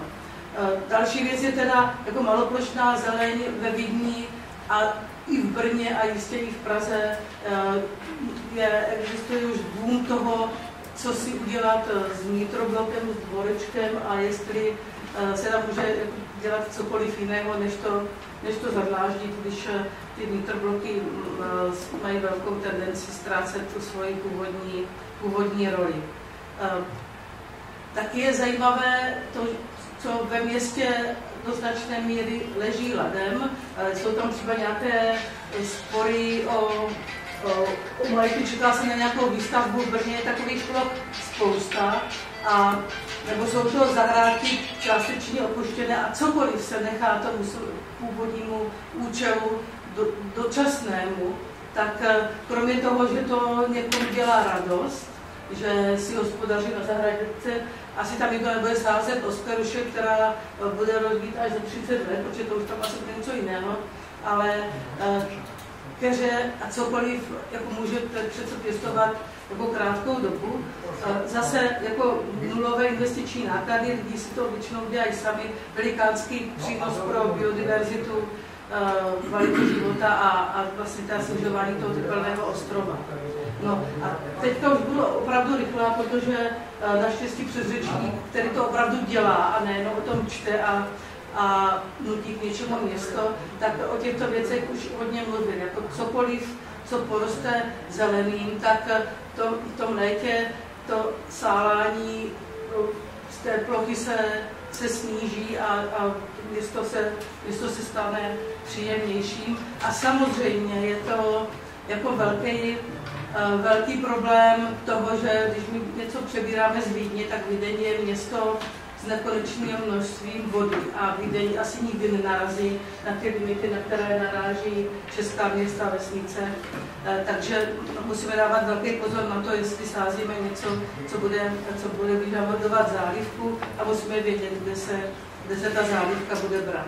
Mobilní zeleň, jo, jenom jako zakrytí uh, rozpalujícího se betonu nebo asfaltu zelené střechy bohatě tady byly pojednané. Tady akorát poukážu na to, že fakt je jako zajímavý to, že pro to rozhodování se eh, dostává tady toho, toho pavouka, protože je veliký rozdíl mezi to extenzivní a intenzivní eh, zelenou střechou eh, z pohledu těch investičních, investičních nákladů. Eh, teda, pardon, provozních nákladů. Tak, jo, investiční náklady jsou srovnatelné, ale ty provozní náklady můžou být velmi různé. Eh, o fasádách tež všechno řečeno, akorát až si budete tu prezentaci případně prohlížet, tak eh, zase vidíte ten veliký problém mezi tím zalévaná, zalévaná a to musí, musí velmi myslet. A musí se na to myslet, taky byl už termosnímek vidět, musí se na to myslet i v tom ohledu, že dešťovku můžeme jímat, státní fond životního prostředí k tomu jistě řekne, řekne své, ale tady z těch, v těch plochách, které jsou částečně dlážděné nebo uh, jsou blízko budovy, která má nezelenou střechu, tak uh, je dneska nekonečný, uh, nekonečný vlastně potenciál budování cisteren, ať už jako vyspělých a těch jako drahých filtrací, anebo takových těch obyčejných, co dřív jsme eh, dřív, eh, jako to byly barely u nějakých okapů, ale eh, dneska v době plastů, že zrovna tato věc je velmi lehko řešitelná až skončím a až tady náhodou budu, tak se mi přijďte zeptat, co jsme doma udělali s jámou v garáži, když jsme mývali auta, teď je nemáme, a v té jámě se ta auta spravovala, teďka se auta nespravují a může v ní být 4 kubiky eh, vody na zalívání. Eh, to by mělo krásného pavouka. Jako, no, eh, čili jako všechno možné ozeleňování, ale s péčí o, o zasakování, je tady, jsou tady zmíněné dotace a existuje spousta, spousta publikací, které se dneska jímáním dešťovky zabývají. Eh, další věc, která eh, přispívá tomu, aby to město bylo obytné, a já, když jsem si dneska cestou ve vlaku znovu tu rakouskou nebo tu vídeňskou knížku prohlížela, tak tam je zavedený velmi zvláštní pojem, že uh, letní, chlad v létě je obecné blaho, je vlastně statek, o který si musí jako velmi pečovat. A některým lidem, jako těm, kteří eh, třeba eh, jí už teplo nedělá dobře, tak se musí jako vyloženě cíleně nabízet. Jo? Možná jste si všimli, že eh, v Kalifornii a, a jsme myslím v Německu, to z těch vlnách veder, se nechávali otevřené přes noc nějaký obchodáky, aby tam třeba starší lidi se mohli uchýlit, pokud bydlí v něčem rozpáleným, kde se nedá vůbec ani odpočívat. Jo. Tak eh, to nás bohužel čeká po roce 2030 už každé léto podle projekcí bude takové, jako teďka se nám zdá, že jsou to výjimečně velká léta. No, tak tady máme eh, jako zase posouzení nějakých těch instalací. Eh, toto je jako další věc, vytahovat ty různé malé říčky a toky a potoky z rour a dělat, jako přinášet do, do města otevřenou vodu, ale velmi důležitá jsou tady pak už jako ta umělá opatření a to je vytváření stínů na prostvích, která jsou neobyvatelná v létě. Já jsem viděla předloni na světové výstavě v Miláně, udělali vlastně zaplachtovanou, zastřešenou Velikánskou ulici v Brně, jsou, tam vidíte ty deštníky, tak tam je jeden takový zajímavý radní, který uh, jako přichází s těmito nápady, že to je spíš jako výstava, ale zároveň uh, to poskytuje blahodárný stín. A uh, jako problém je ten, že investiční náklady na, ty, na takovéhle jako plachtové stínění mohou být velikánské, i protože v důsledku klimatické změny s těma 30 a více metrů za sekundu větry musíme počítat víc a nemůžeme teda si stavět uh, věci, které, které jsou uh, odfouknutelné a potom uh, minimálně se zničí, pokud uh, bože, někomu něco neudělají. Jo? Tak tady budeme v Brně něco Eh, popínat eh, pozdí, po kolem které se chodí a je, je, je na ní vedro. Eh, má se na budovu magistrátu zkusit přímo kolem oken životního prostředí něco dát. No, my jsme teda v Rostětině, podobně jak pan kolega předtím ukazoval něco z Japonska, tak my tež před rozkleným vchodem pěstujeme fazole a jako hrozně to pomáhá, akorát že v těch, v tom letošním roce asi kdo pěstujete, tak víte, že oni ani ty fazole, ani když byly zalevané, nechtěli v tom bedru růst.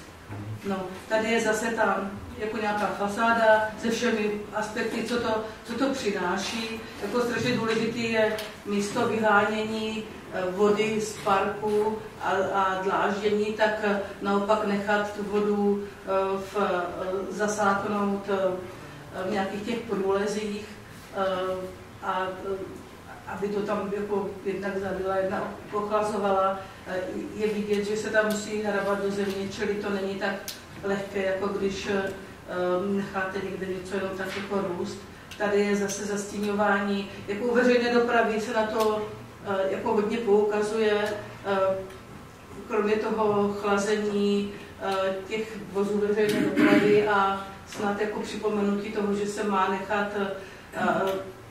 tramvaje, aby se jim otvírala okna, a i když se to nějak teďka řeší, že to není bezpečné, ale uh, jako, jako myslím, že celá ta záležitost, uh, co jsme si vlastně natropili tou klimatickou změnou, povede asi k velké rehabilitaci průvaru, kterou jsme jako který na Balkáně dokonce přivádí jak zlé duchy, ale oni to budou dobří duchové, kteří přes noc nám Eh, umožní provětrat jak město, tak, eh, tak eh, vlastně budovy průvanem bez, bez elektřiny, tak tady teda jako stíníme, nebo tak chladíme do, do vozy veřejné dopravy, aby nedostali škaredou nálepku, tak buď jako u, u elektrickou klimatizací třeba půjde na tramvaje nalepit fotovoltaika, věřím, že to jako dokážou, tak eh, chlazením nebo stíněním eh, zastávek veřejné dopravy, aby se tam lépe čekalo. Tak to, co tam vidíte dole, to je vizualizace a to tam snad v Brně někde přibude, to ostatní jako Hradec Králové, Víčko, to je... No, eh, co si se děje na báječném sídlišti starostky Jany Drápalové, která předělala spoustu paneláků málem, nebo do, do bez pochyby ener, nízkoenergetického standardu, udělala tam uh, dešťovkový rybník, uh, má tam zelené plochy, takže si uh, občané akorát stěžují, že v létě cvrkají cvrčci. Paní starostko, co s tím uděláte? A uh, teďka tam bude dělat na vyměníkové stanici uh, sbírat dešťovku, zelenou střechu, Eh, fotovoltaiku jako spoustu opatření, opatření naraz.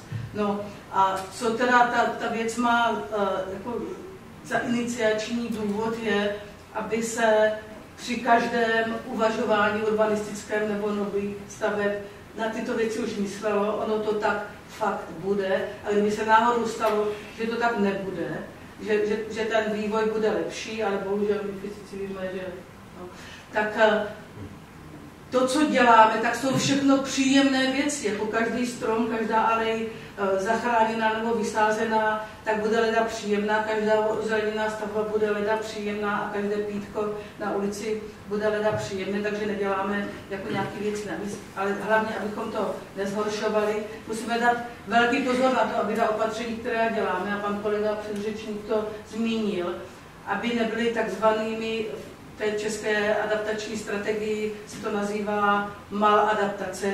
Adaptace, která sice třeba zmírní vedro, ale sežere tolik fosilní elektřiny, že vlastně jako tu celou věc kazí, čili na to se musí dávat velký pozor.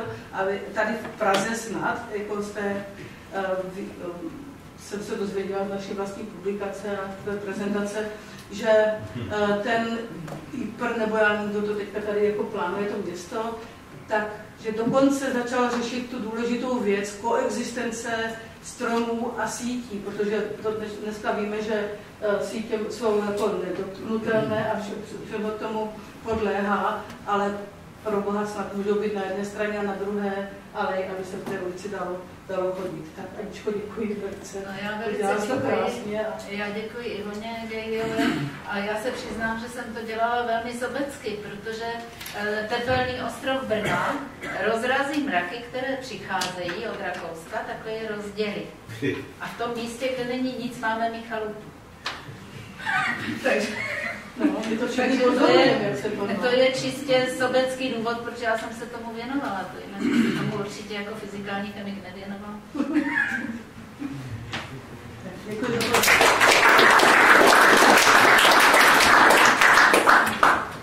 Děkuji a prosím pana inženýra Kořáka, který zastupuje firmu Likos.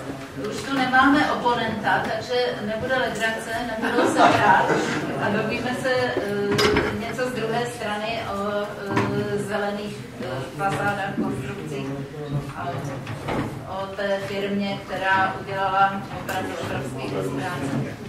Končíme v sedm, takže na každého ta čtvrthodinka ještě vyjde. Už nevíde diskuzi, diskuzi máte tady, omlouvám se, že nebude velká diskuze, ale vemte si tady pozvánky a pokud budete mít dotazy, tak si dohledejte přednášejci. Já si myslím, že ty uh, přednášky jsou vyčerpávající. A doplňující informace vám stejně by byly dlouhé, takže vám je dodají po internetu přednášející. Dobrý den, já se jmenuji Rostěn Dvořák, přijel jsem za vámi ze Slavkova u Brna z firmy Likos, eh, kde pracuji jako obchodní zástupce a mám na starost eh, vývoj našich systémů zelených střech a fasád. Navzdory tomu všemu jsem tu přednášku dneska pojal jako nekomerční, ale zaznívají různý témata, které už se tady omílaly, takže možná se budu v některých momentech opakovat, ale je to zase graficky trošku jinak pojatý, takže možná pro názornost a pro zlepšení představy eh, to k něčemu bude. Eh, jenom, jenom teda ve zkratce, čím se zabýváme, dodáváme na trh montované příčky, eh, haly a nerezové výrobky. Tady právě uprostřed vidíte třeba ukázku z jedné, našich, jedné naší realizace. Je to zelená fasáda na halekovou výrobku. Já vždycky eh, tady tuhle tu problematiku popisuju za pomoci eh, těch dvou slajdů, těch dvou obrázků, eh, který vidíte. Přírodní klimatizace. Proč? Už to tady dneska vlastně zaznívá. Jak to funguje, co je krátký vodní koloběh, co vůbec jsou tady tyhle ty biorytmy, které se na Zemi dějí a které jsou stěžení pro naši existenci. Sluníčko svítí, s ním sem přichází nějaká tepelná energie a příroda to má natolik dobře vymyšlený, že tohleto teplo eh, v momentě, kdy jeho víc než je žádoucí, dokáže nějakým způsobem spotřebovávat, transformovat a vlastně ulehčit atmosféře od toho, aby se přehřívala. Děje se to tak, že vlastně eh, paprsek eh, tepelné energie dopadá na povrch, tady v tomto případě na povrch listů nějaké vegetace, která samozřejmě transpiruje a na povrchu tohohle toho listí, když to tak řeknu, se vytváří mikrokapičky vody, na něž když potom dopadá sluneční paprsek, tak tahle ta voda se z toho kapalného skupenství mění eh, na páru. Eh, tahle ta změna těch dvou skupenství vyžaduje v podstatě poměrně velkou spotřebu energie a ta pára, která spotřebovává teplo, potom stoupá do vyššího vrstev atmosféry a nedochází k tomu, eh, že se vlastně povrch planety přehřívá. Eh, to, co my děláme v té krajině, je, že přicházíme s výstavbou. Začínáme tady stavět, podepisuje se prostě na naší planetě nějaká antropogenní činnost a na tomhle obrázku jsem to znázornil tady na téhle hale. Je to vlastně totéž místo, což je asi vidět jenom na těch kopcích tam vzadu, ale je to totéž místo, kde najednou eh, z důvodu té výstavby tahle ta vegetace zmizela. Místo toho tady vyrostla nějaká hala, která je ještě oběhnaná zpětněnou plochou. Eh, pořád je tady to samé sluníčko, který se svítí, akorát už tady najednou chybí ta vegetace a ta voda v ní obsažená, která by to teplo dokázala spotřebovávat. A tahle ta hala v tu chvíli působí v podstatě eh, jako radiátor, který eh, to teplo akumuluje a následně vyzařuje do svého okolí. No a to dává vznik tepelným ostrovům, o kterých už jsme se tady dneska bavili. Tady jeden eh, konkrétní pohled, je to, je to termosnímek Mendlova náměstí v Brně. A je to pořízený dne, kdy bylo venku asi 26 stupňů Celsia vidíte, eh, že tyhle ty komunikace, asfaltová komunikace je vyhřátá až na nějakých 60 stupňů a tady tohleto teplo vlastně vyzařuje do svého okolí. Eh, dostali jsme zajímavý data z Českého hydrometeorologického ústavu. Eh, Tohle tady vidíte vlastně úhrn srážek, je to zprůměrováno někdy od roku 2006 až do roku 2016 a uvedl jsem tady vždycky Eh, příslušný kraj a jeho hlavní město. Může to být samozřejmě trošku zavádějící, ale tím, že v těch 12 krajích a 12 příslušných krajských městech jsme nenarazili na jedinou výjimku, tak si myslím, že to jasně potvrzuje, že prostě vliv tepelného ostrova města uh, se na tomhle tom podepisuje. Jak to vlastně funguje? Tak jak jsem mluvil uh, o tom, že svítí sluníčko, odpařuje se voda, ta stoupá, v chladném prostředí se sráží a dopadá na povrch, tak eh, v momentě, eh, kdy někde působí vliv tepelného ostrova, to znamená eh, město, které je rozehřátý na vysokou teplotu, horký vzduch z něho stoupá, tak samozřejmě v tom horkém prostředí nemůže nastat to, že ta voda skondenzuje. Ona skondenzuje až tam, kde je to umožněno, to znamená v místě, kde je chladné. No a bohužel my jakoby tím, jak se chováme, vytěsňujeme vlastně tu vzdušnou vlhkost až někam na oceány, kde teprve je příležitost pro to, aby vlastně díky chladu skondenzovala, dopadla a ta voda, kterou my tak potřebujeme, dopadá eh, do oceánu spíš než teda někde nad pevninu, což je tady konec konců krásně vidět, kdy prostě rozdíl mezi Prahou a zbytkem středočeského kraje kdybych to vyjádřil procentuálně, tak je to třeba nějakých 15 až, až 20% Stejně tak je to v případě Brna a jeho moravského kraje, a abych nekřivděl těm menším krajským městům, tak jsem uvedl ještě eh, České Budějovice a jeho český kraj. No a tohle to nevyhnutelně, pokud bychom s tím nezačali něco dělat, bude směřovat k tomu, eh, že budeme velice úspěšně odvodňovat krajinu a v podstatě nastává určitá dezertifikace. My už to vidíme teďka, jo, kdy prostě klasický dům ve městě nebo kancelářská budova ve městě, eh, který je během léta poměrně nedýchatelný, tak tam osadíme prostě nějakou klimatizační jednotku. V podstatě jakoby v tom životním prostředí, který je pro nás eh, standardně docela příjemný, tak my už jsme ho dokázali natolik zprznit, že si v podstatě jsme nuceni jakoby stavět určitý skilaby, v kterých si navozujeme umělé podmínky, které jsou pro nás příjemné, no, ta klimatizace, nějaký zvlhčovače vzduchu a, a další věci. No a to už, o tom už tady taky dneska byla zmínka. Eh, zástavba eh, v České republice běží rychlostí asi 10 hektarů, je denně zastavěno nebo spevněno asi 10 hektarů půdy denně. Takže si představte, že vždycky, když se ráno probouzíte, tak eh, za těch 24 hodin se zastaví asi plochy velké jako tři Václavský náměstí. Za rok je to město velké asi jako Prostějov. Tak to si myslím, že je docela ukrutný tempo. To asi jako všichni cítíme, že je potřeba tady s tím letím začít něco dělat. No a tady už vidíte obrázky, eh, které nejsou vyseknutý z nějaký přírodní rezervace nebo Tatranského národního parku, ale jsou to vlastně známky života, které se nám podařilo zachytit v bezprostřední blízkosti eh, budovy Likonové, eh, kterou jsme postavili v rámci našeho firmního areálu. Jsou tam, jsou tam kancelářské pracovní místa A tady touhletou budovou jsme chtěli dát vlastně světu najevo, jak je možný eh, ke stavebnictví přistupovat. To znamená, není to nějaká vizualizace, to jako reálně stojí a pokud byste měli zájem to vidět naživo, tak je určitě možný se se mnou domluvit a, a přijet se na místo kouknout. Eh, tady je zase další pohled, eh, zase termosnímek. Tohle je vlastně náš výrobní areál, kde je nádherně vidět, jak funguje zelená střecha. Eh, toto jsou výrobní haly, které mají klasickou střechu z trapézového plechu. Eh, jak vidíte tady na této stupnici vyhřátý třeba na nějakých 55-60 stupňů Celsia. Eh, zatímco tady nahoře vlastně vidět likonoje v pudorisu. A to má řešenou střechu tak, že na jedné části, jak už říkal pan inženýr Burian, je kořenová čistina odpadní vody, kam samozřejmě čerpáme vodu, která má možnost se z volného povrchu odpařovat. Tam je velmi nízká teplota, protože ta odpařující se voda právě teplo spotřebovává. Jsme tam na nějakých třeba 25 stupních Celsia. E, zbytek střechy je klasická extenzivní rozchodníková střecha, nezavlažovaná, ale zkrátka nějaká voda v ní zůstává, je pokrytá vegetací a vidíte, že ta se vyhřeje třeba na, na nějakých 35 stupňů Celsia, na rozdíl teda od těch střech plechových. To, proč je tady vidět vlastně živé stavby CZ, tak to je z toho důvodu, že tam je to nabarvený černým sprejem. To by standardně ta termovize nezaznamenala, ale protože ta černá se samozřejmě vyhřeje ještě na vyšší teplotu než zbytek toho trapézového plechu, tak eh, to tam takhle nádherně svítí. A tady je potom vidět likoné v detailu. A tady tohle to je eh, snímek ještě z dob, kdy uh, ta střecha byla částečně řešená jako extenzivní zelená, jenom tady tenhle ten pruh. Uh, tady na téhle té části už byla ta kořenová čistírna samozřejmě a ten zbytek je ještě jenom klasická PVC hydroizolační folie. Tady zase vidíte, jo, mokřat vyhřátý na nějakých 28 stupňů, eh, tam, kde jsou ty extenzivní rozchodníky, eh, tak eh, teplota vystoupala na nějakých 30. Tady je zase důležité říct, že venku bylo toho dne asi 32 stupňů Celsia. No a ta šedivá hydroizolační folie je vyhřátá na 80 stupňů.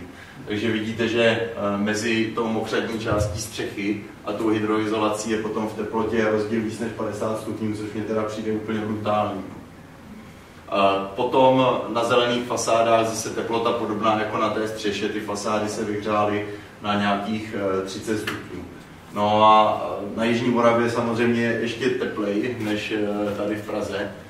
A teď v půlce srpna, asi dva týdny, byly teploty standardně ve stínu třeba 35 stupňů. A v Likoné není žádná klimatizace, je to vlastně chlazení jenom pasivně se dá říct právě těma fasádama zelenou střechou. A vevnitř v interiéru nikdy nestoupla teplota na 24 stupňů. Je to samozřejmě daný nejenom zásluhou fasády a střechy. Ten dům celý je postavený jako pasiv, eh, je řešený tak, že vlastně veškeré prosklené plochy jsou otočený na, eh, na severovýchod Jo, čili i dochází tam jakoby k redukci toho slunečního světu, který by mohl vstupovat dovnitř. Ale samozřejmě prostě je to, je to, je to jedno s druhým a funguje to. Uh, tak aby bylo jasné, že samozřejmě největší měrou se na tomhle všem podepíše voda, tak tady je obrázek z pera pana architekta Franka, který vlastně navrhoval budovu Likono jako takovou. A tady vlastně vidíte, že eh, odpadní vodu, která natíká z toalet, tak přečišťujeme jenom na přepadovém septiku. Eh, z té poslední komory eh, septiku je čerpaná potom na střechu s tím, že ve střeše jsou prostupy pod atikou a těma prostupama potom přepadá na tuto a potom z druhé strany jakoby na zadní stěnu. Do toho rohu je udělá, jsou speciální fasádní truhlíky navěšený nad sebou a vlastně ta střecha funguje jako horizontální kořenový filtr čovky a ty boky fungují jako vertikální filtr, kde dochází ještě vlastně k okysličení té čištěné odpadní vody a, a potom ty parametry jsou skutečně velmi dobrý. Nám tam dělá Vagviškov, eh, který mají naproti centrální čistírnu, eh, tak nám dělají rozbory tady téhleté vody a jsme hluboko teda pod eh, limitama nařízení vlády. No a tady tuhle tu vyčištěnou vodu potom dopouštíme vlastně retenční jezírko, z kterého potom bereme vody nebo vodu k závlahám všech zelených ploch v areálu eh, a čerpáme odsud vodu k závlahám právě i těch, i těch zelených fasád. Eh, pan Burian teda trošku demagogicky. tady, no, já právě se do toho nechci odpouštět, protože už nemám možnost se bránit. Jo. Ale Jako takhle. Nesouhlasím s dvěma věcma, který řekl. Jo. Jednak je to ta energetická bilance budovy. Popínavky dobrý, samozřejmě není to tak nákladný, ale tenhle ten typ fasády v sobě podrží podstatně větší objem vody. Takže samozřejmě z hlediska té termoregulace ve smyslu toho chlazení, tenhle ten systém nepochybně funguje líp. E, náklady ano, ale zase je potřeba říct, že i fasády, které tvoří popínavky a vyžadují nějakou opornou konstrukci, tak jak, nevím, jestli znáte třeba firmu Karl Stahl, která tady v tomhle tom dominuje, oni dělají taky ty nerezové sítě, které jsou na takových distančních terčících kotvený do fasád a po těch nerezových sítích se vlastně pnou tady tyhle ty kytky. Tak eh, tady tenhle ten systém cenově vychází taky třeba na nějaký 4000 korun eh, na metr. Jo. Takže ono to taky, taky není úplně za hubičku. No, tady vidíte, Rikonové ze zadu, tady je právě vidět, že vlastně toto je klasická zelená fasáda, kterou dodáváme na trh.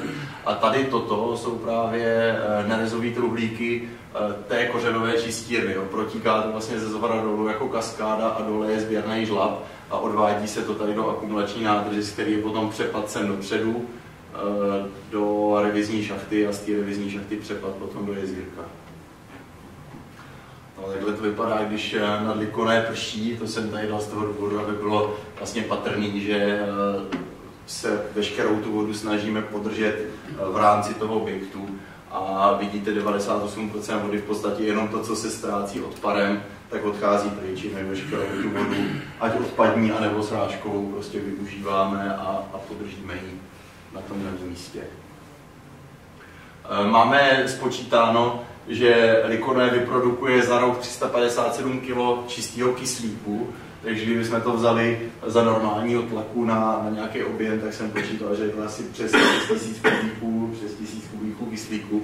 Eh, spotřebuje 690 kg oxidu uhličitého a samozřejmě, že eh, zelená fasáda dokáže vytvořit určitou zvukovou bariéru a otizovat ten objekt od okolí. No a, a když eh, to převedu na stromy, někde, někde jsem vyčetl, eh, kolik kyslíku vyprodukuje vzrostlý strom, kolik vypije vody a tak dále, eh, tak eh, nám vyšlo, že je to podobné, jak kdyby jsme na tom místě zasadili čtyři vzrostlý stromy, což si myslím, že do těch 200 metrů čtverečních nebo kolik to má v půdorysu, se nám ani moc nepovedlo. No a tady tohle to už jsou, tady tohle to už jsou potom detaily fasády, jak to může vypadat. Přišla tam i, i Udlanka na návštěvu. Eh, pěstujeme tam, jo, ještě, ještě bych chtěl říct eh, jednu věc, mně se to nezdálo. Jo, že uh, jak mluvil pan Bořina o tom, že jsou to jako chudinky napojené na přístrojích, jo, tady tyhle ty rostlinky, které to, to je jakoby, jako jo, roste to na hydroponické bázi, i tady v tomhle případě, roste to z roku lový vaty, ale máme možnost, nebo pěstujeme, máme dvě varianty. Jedna, jedna, jedna ta fasáda roste z vatových bloků, jedna roste ze substrátu, který aby nepropadl vlastně skrz tu mříž, který je, je to tvořený tak v takových, takových nerezových mřížích, v takových blocích, aby to nepropadlo, jak je to zavřený vlastně v kapsách z kokosového vlákna. Ale samozřejmě i tady toto, aby to mohlo nějakou dobu sloužit, je taková vyhlídka, že ta fasáda, aniž by vyžadovala nějaký zásah, musí fungovat aspoň 20 let. No tak to jakoby nejde bez hnojiv, že jo? A nejjednodušší cesta, jak to hnojit, tak je prostě přivádět to hnojivo eh, do vody závlaze a takže to, to jakoby tak, tak je důležité si uvědomit, že papriky a rajčata, které prostě vyměníme, tak jsou všechny pěstované na hydroponické bázi pod útělým světlem a tak podobně. Takže zkrátka jsou to, jsou to efektivní, efektivní způsoby, jak vůbec pěstovat.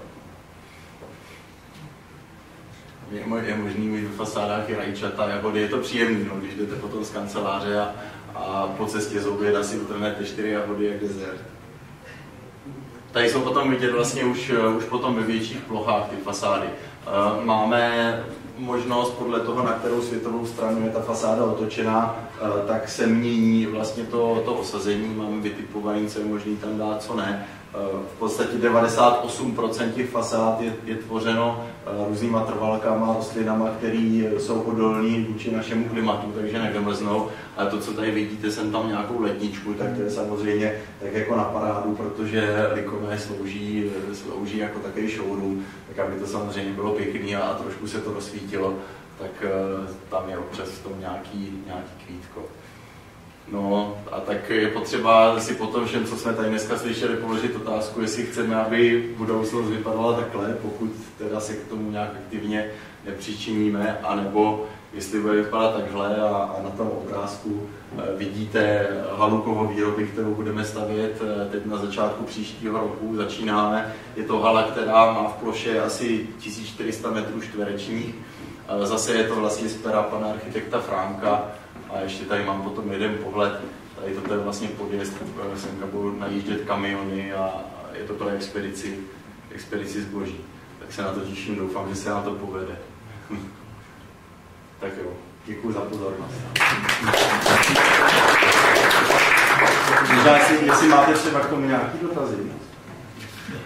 No my taky strašně děkujeme, protože takhle by mohly vypadat všechny ty šílené haly na okrajích měst. A proč nevypadají?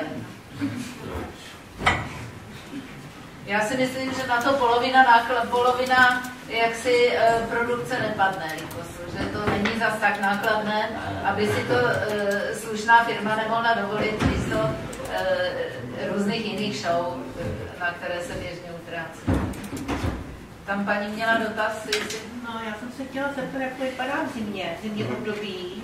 Potom by se ráda zeptala, Protože jako je to potřeba, ale legislativa v tomhle státě to vůbec nenahrává. Tak mě zajímá, jak vy s tou legislativou, jak vy s legislativou jako plbíte, protože začíná v územních plánech se to těžko prosazuje, pořád to stagnuje na tom, máme koeficienty tady v Praze, já nevím, kolik, 25% zeleně, a ani voda se nedaří řešit, a pořád se to vede k tomu, aby ta voda z krajiny z toho území odtekla. Já dělám občanský združení, zároveň se ve státní správě i samozprávě, jo. takže znám to ze všech rovin a prostě na jedné straně se ví, jak a ví se ten problém. Ale prosazování obtížně a navíc teďka ještě došlo ke změně dvou novele stavebního zákona, který tohle vůbec nereflektuje. Naopak vyblokovává ty dotčené orgány státní zprávy v rámci nějakých řízení prostě, prostě se šloupe úplně a budeme stavit za každou cenu a bez ohledu na životní prostředí.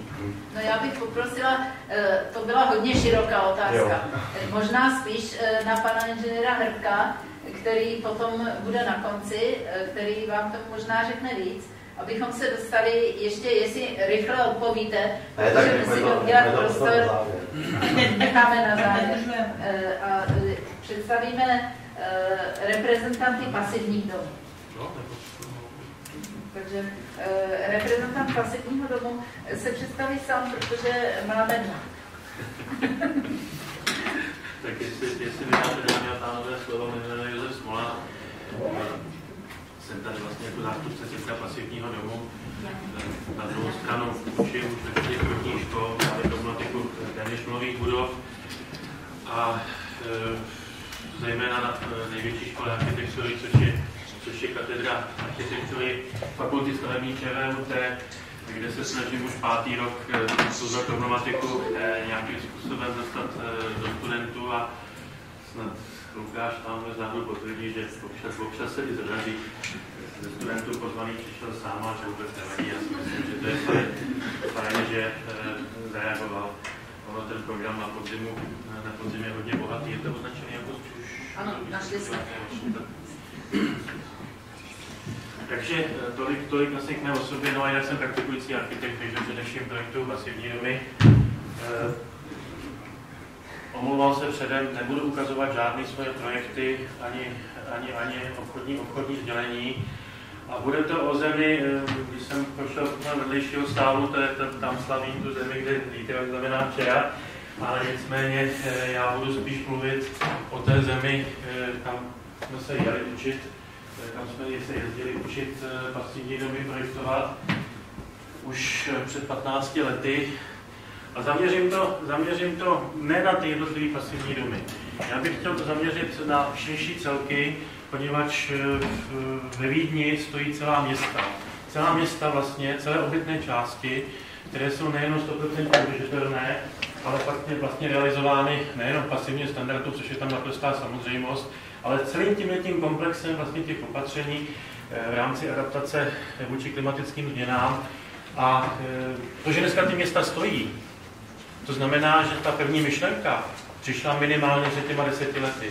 Před těma deseti lety tam musela být nastavená ta společenská objednávka, která se přetavila v politickou objednávku a někdo musel říct, jo, do toho jdeme, a to ostatní už je proces, který bychom jako architekti, urbanisti vlastně všichni měli umět. Na rozehrávku křehká ranitelná, jasně. Oblast toho, té udržitelnosti a já bych se speciálně chtěl zaměřit zejména na sociální kohezi a na ty věci, které nám vlastně nejméně fungují tady v Praze.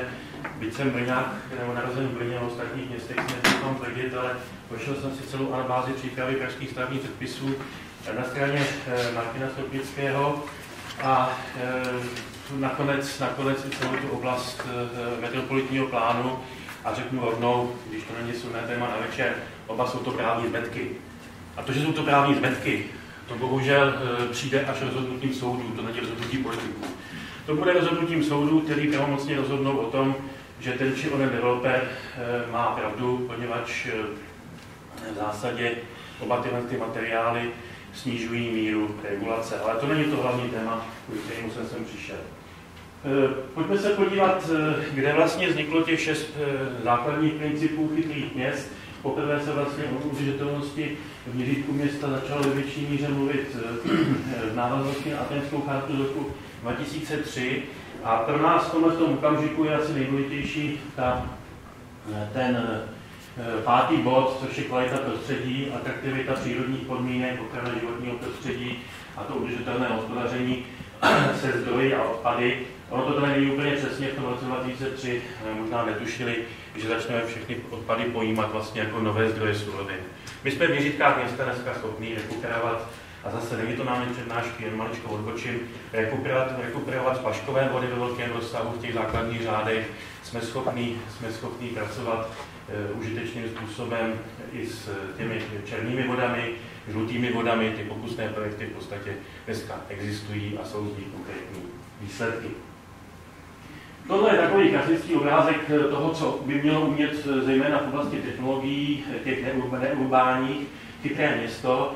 A já jsem si k tomu přidal to, co eh, v podstatě dneska se snažím přednášet, poněvadž upřímně řečeno, ze strany urbanistů na všech katedrách eh, urbanismu všech architektonických škol v České republice máme jich 10, 11. se uchází, pro zajímavost, 11. se uchází o akreditaci oboru bakalář, směr architektura, tak vlastně moc ty kontakty eh, nefungují a ta síla té komunity nebo ta nesíla té komunity se právě projevila i v případě oponentury nějakých stavebních předpisů v oblasti toho umístěvání staveb a v oblasti metropolitního plánu Eh, v oblasti, v oblasti vlastně parametrů eh, využití, využití území. Takže eh, opět většina věcí už tady, už tady zazněla. Samozřejmě velice zajímavé v měřitkách města jsou ty oblasti využití energie země, větru, slunce, vegetační pozadí, o tom už tady byla řeč. A to, co se možná málo, málo diskutuje, to je možná na další přednášku, to hospodaření s odpady a s plaškovými vodami. To, že, to, že v podstatě ty, eh, ty bystřejší, eh, o kterých se máme co učit, byly dlouho před náma, to vidíme vlastně tady v měřítkách, když kolítem tu Evropu v měřítkách čtyřech měst, Ekoviky, eh, Helsinky, Solar City, Picklinku, Lince, Stockholm, Jižní město, no a samozřejmě potom malý holandský zázrak, Herbugová v Holandsku, kde je v podstatě dokonce plusové město, čili plně soběstačné město, které, které vyrábí přebytek elektrické energie, tak je schopno vlastně fungovat na ostrově 700x700 metrů, který byl vlastně založený na revitalizovaném e, zasoleném jezeru z roku 1630. Hmm. Čili tady s druženou investicí Evropské unie, holandské vlády a e, místního magistrátu se dospělo k takovému řešení. No a odsud, poněvadž všechny, všechny tato města, ty, ty urbání koncepce vznikaly někdy kolem roku 1990, tak odsud už jenom skok do té Vídně, kterou mám nesmírně rád, rád se tam vracím a vždycky to je obrovským způsobem inspirativní. Kdyby tady byl můj původně předřečník anekdotánek, tak ten by řekl, že normální architektura je ta, která je energeticky efektivní, takže já to doplním normální urbanismus. To jiný není urbanismus. To je pouze vytržený z kontextu určitá představa některých kolegů, že ta výtvarná vize může dneska fungovat bez okolních technologií. Samozřejmě i v oblasti toho urbanismu bychom měli jít formou synergického efektu, pozitivní vlastnosti posilovat, negativní potlačovat. Já si myslím, že na tomto obrázku to je velice pěkně vidět, velice hezky rozehrané. A už pojďme teda k té zlíbené výzvy. Když se podíváme, tak tady máme ring, eh, v podstatě vlastní historické jádro, eh, tady je Dunaj, takže máme tam tři, dvě, dvě silné přestavové oblasti v měřítkách měst.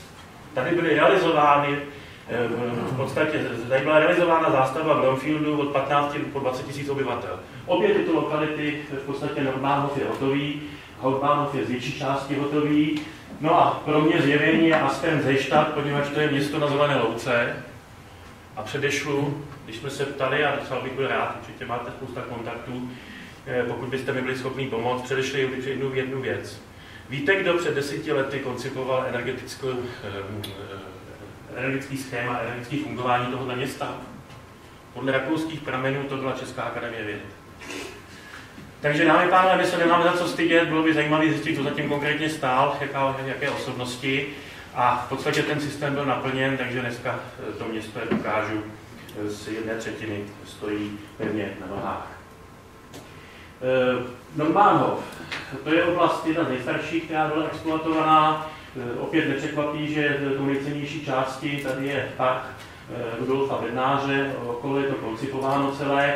Mimochodem dospěli, dospěli k, k zajímavým i vzhledem k imigraci dospěli, a to už je ta sociální koheze, otázka sociální koheze, dospěli vlastně k zajímavým konceptům vlastně pasivních kampusů, kde se snaží vlastně eh, na oploceném pozemku, který, je chráněn a v podstatě hlídaný ochrankou, tak se snaží vychovávat děti ve třech stupních. Je tam, je tam vlastně základní školství, jsou tam, je tam mateřská škola, a je tam e, i obvykle liceum. Čili děti chodí x let do jednoho místa v té krátké docházkové vzdálenosti. Já bych vám chtěl představit, ale z této oblasti Nordánhofu, samozřejmě bylo by toho víc, eh, tenhle ten dům v tom kolaře. Bych vám chtěl představit tenhle zázrak moderní, z mého pohledu moderní rakouské architektury. Je to e, vlastně bytový dům dokončený v roce 2013, Zároveň získal státní cenu za architekturu v roce 2016 a myslím si, že po právu. Bydlí tady stovka spokojených obyvatel, dům eh, v rámci kohouzingu, v rámci komunitního bydlení obsahuje 400 metrů obchodních prostor, které vylepšují cashflow, vlastně fungování eh, tohohle, tohohle systému. Eh, těžko je to převoditelné do českých podmínek, poněvadž je to v podstatě jakési družstvo, kde první, co bylo, bylo výběrové řízení na ty jednotlivé obyvatele, jak po sociální, profes, sociál, socioprofesní vertikále, tak i věkový vertikále, čili od seniorů až po malé děti. A ty lidé byli od samého zrodu u projednávání, čili u výběrového řízení na architekty. Byla tady soutěž. Posléze u výběrového řízení na developera. Nefunguje to jako Praha, která se zbavuje pozemků, a budou tam dva obrázky na závěr spíš otazníkem. Ale město si nechává tyto pozemky a za velice tvrdých podmínek vypisuje tendry a pokud firma neplní, tak jde a nahrazuje někdo jiný. A prosím vás, to řídí magistrátní odbor, mm, pověřený hospodařením majetkem e, vědeckého magistrátu. No a neposlední řadě Tady máme 700 metrů komunitních příležitostí, no a to, co je tady samozřejmostí, že to je pasivní bytový dům. Povšimněte si komunitní zahrádek, jo? takže tady je možnost eh, jakéhosi pronájmu za hubičku, kdy jednotlivé rodiny pečují o tu zeleň venku. Všechny ty obchodní prostory ne, že vylepšují, vylepšují eh, tu, eh, to cashflow, jak už jsem mluvil, ale plně se vlastně zapojují funkčně do toho bydlení jako takového. To, co je tady žluté, to jsou vlastně atria, která osvětlují eh, ty suterénní eh, prostory, které jsou pro nájmu jako obchodní příležitosti. Tohle je z našeho pohledu světě divse garáž na kola. Ve Vídni, pokud, eh, pokud vytvoříte šest příležitostí pro parkování kol, tak nemusíte vytvářet jednostání pro auta. Obecně tady je vůbec jasná tendence zbavit se té individuální dopravy, pokud možno vůbec, nebo aspoň podpověď. Je tady komunitní kavárna, je tady společný prostor pro eh, grilování a eh, v podstatě vyvařování a setkávání přátel těch, těch rodin, které fungují eh, v tomhle tom jakési družstvu. o víkendech a dělají to rádi. Já jsem skutečně se snažím, pokud někde jako architekt jsem, tak si s těma lidma povídat, jak si tam skutečně bydlí, jak jim to funguje. No a v neposlední řadě ten ateliér, který to vyhrál, tak eh, nakonec eh, si tady vysoutěžil, eh, že tady fungují vlastně a je to vlastně jejich výkladní skříň, jsou to dva mladí architekti. Takhle to potom vypadá v reálu. Komunitní kavárna. Nábytek je ten, co rodiny už nepotřebují v těch vyšších paterech a věnují to té kavárně. Tak to je takhle pestrý. Parkování kol, co hodina, to je jeden ten box kola na výšku. Tady je výběrového řízení vlastně výsledek, eh, to jsou, to jsou ty rodiny, tady to jsou společné, společné, tady jsou ty prostory, ty komerční, těch átriích, a tady jsou vlastně společné komunitní prostory, tak to to vypadá to společné milování v sobotu. Já vím, že nám to, a s tím jsem si e, nediskrétně, že tady nejsem sám s těma šedinama, že nám to, co si připomíná tohle, že. Ono to tady bylo, to jsou koldomy, koldomy e, které byly projektovány v 50. letech. A tady to funguje. Ty lidi jsou na to pišní. Jde to tak daleko, že v podstatě v okamžiku, kdy se chce přistěhovat někdo nový, tak vlastně o tom hlasuje ta komunita, jestli ho chce mezi sebe. Promiňte, čili to nejsou nájemní domy? To jsou domy, které oni získají, to, to je dům, kde byty se získávají do vlastnictví za určitého klíče, kdy samozřejmě ta radnice z začátku pomůže, lidé něco splácí a posléze získávají ty byty do svého vlastnictví. Upřímně mi, ten model mi není úplně jasný, zatím jsem k tomu nedohledal, nedohledal další informace, pokouším se o to, jo, poněvadž tohle samozřejmě může být to, to, to úskalí a to, místo, to, to slepé místo k napodobování. Na druhou stranu faktem je, že Vídeň má 60% bytů sociálních, čili dotovaných, a má pětkrát vyšší zadlužení na hlavu než Praha, včetně Blanky. Čili samozřejmě u všech těch projektů je velký riziko financování do budoucna, že jako průběžný flow. Pojďme se podívat dál. V Březu, tohle jsou ty pronajímatelné prostory a tohle českému posluchači bude znít velmi kuriozně, poněvadž ty nejkvalitnější byty v tom ustoupeném podlaží, ta komunita, poskytla Syřanům, imigrantům. A dohlíží na to, aby se integrovali do společnosti. Když se podíváte na dispoziční řešení, tak je to plně, eh, plně v podstatě eh, naplnění té myšlenky flexibility v rámci udržitelnosti. To znamená změny, eh, potenciální změny dispozice i do budoucna. Když se zaměříte na tyhle ty dva, dva byty, tak zjistíte, že, že sice mají samostatné vstupní dveře, ale nejsou oddělený stěnou. Prostě ty dvě rodiny, zřejmě více generační, chtěli žít pohromadě a mít bezprostřední kontakt s dvoučaty s dětmi. Toto je celý sociální model.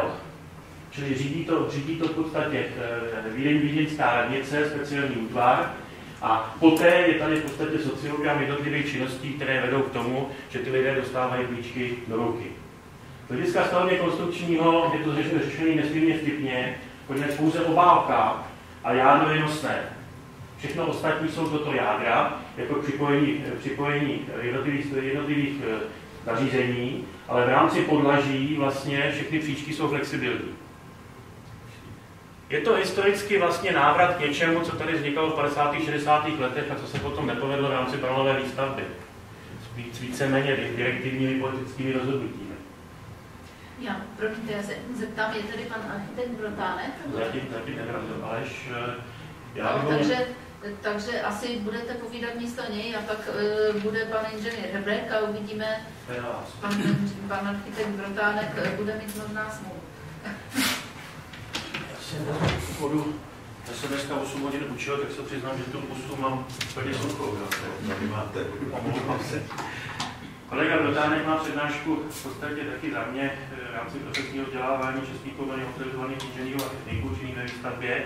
Je to vlastně přednáška v hodinu a půl na podobné, podobné téma a vzhledem k tomu, že já teď včetně týdnu učit, tak jsem to trošku hodil na něj a tohle se úplně neskladovali. No, když nepřijde, nedá se nic dělat. On přijde, já jsem s ním mluvil. Ještě včera večer a říkal, že, má, že chce přijít. Jo. Hezká doprava.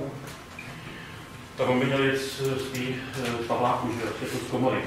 Další takový nesmírně zajímavý, zajímavý útvar vzniká na uh, což je to nádherný hlavní nádraží, který dneska Vídeň má, architektura sama pro sebe. Nicméně exploatuje, exploatuje poměrně rozsáhlé území, kdy opět, podívejte se, centrem vlastně toho útvaru je park, velký městský park z množství zelení, který vlastně navazuje na e, biokoridory e, kolem. Takhle to potom vypadá v tom masterplánu. Za zmínku stojí jedno, jedna věc. Zatímco protagonisté každých stavebních předpisů trvali natvrdo na tom, že v podstatě ta kvalitní městská zástavba je pouze bloková, tak v podstatě tady je velmi dobře vidět, jakým způsobem k tomu přistupují. Teď jsem ukazoval Helsinky, Solar City v Picklingu, nakonec i ten, i ten, i ten znovu obnovený to znovu obnovený jezera ostrov není na principu blokové zástavby.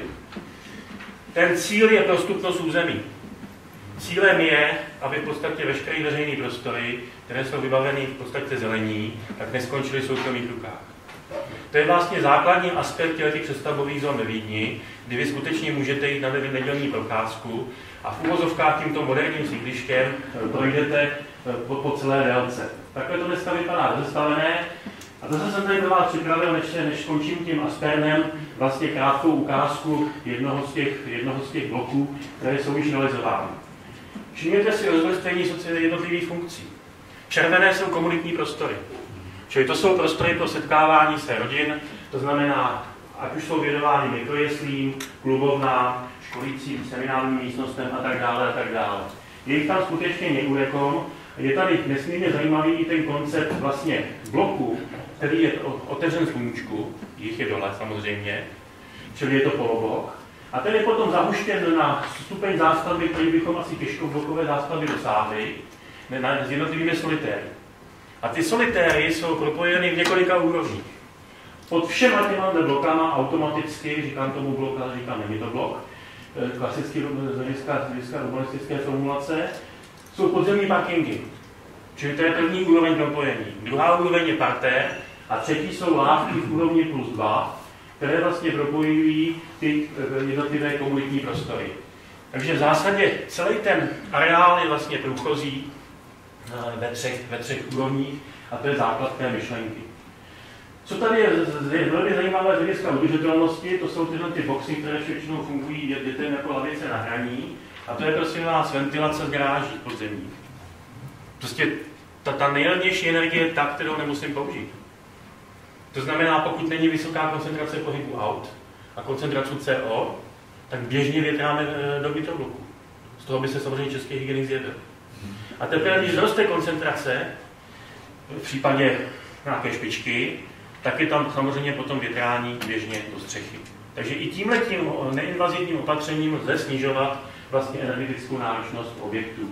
Takže zase, aby jsme si udělali představu o e, úrovni a designu těch veřejných prostor, tady je odkaz na, tu, na, ten, na ten budník s tím větráním.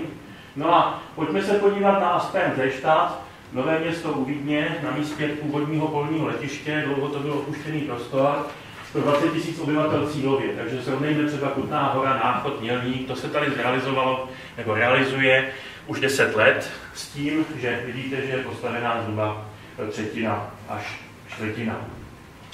To, co tady je nesmírně zajímavé, jinak tohle je e, Opel, obrovská, obrovská fabrika. To, co tady je zajímavé, je ta etapovitost té výstavby, takže do toho roku 2016 bylo možné vidět tuto zástavbu. A opět, podívejte na ten masterplan, to nejsou uzavřené bloky.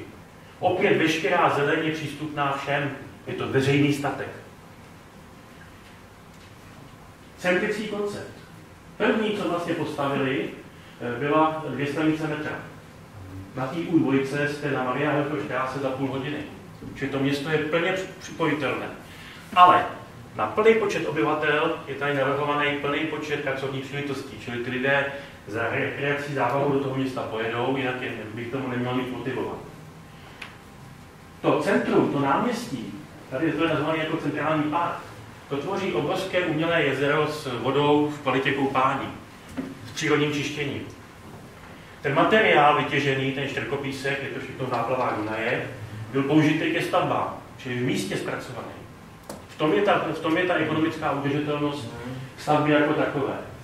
Všechny altáky jsou v podzemních garážích těch jednotlivých hydroblocích. Je tady v celé lidní vlastně rozšířený bike. Celé centrum z preferencí pěších, to jsou ty hnědé zóny, a když si zapíšete samé tlužítko, tak zjistíte, že to je to město těch příjemných vzdáleností, pro pěší. To je tě do těch 500-600 metrů, což ještě je nám příjemný ujít, pak už hledáme jinou možnost. Koncept zástavby, jak jsem zmínil, opět umožňuje kompletní prostupnost, ty jednotlivé bloky nejsou uzavřeny.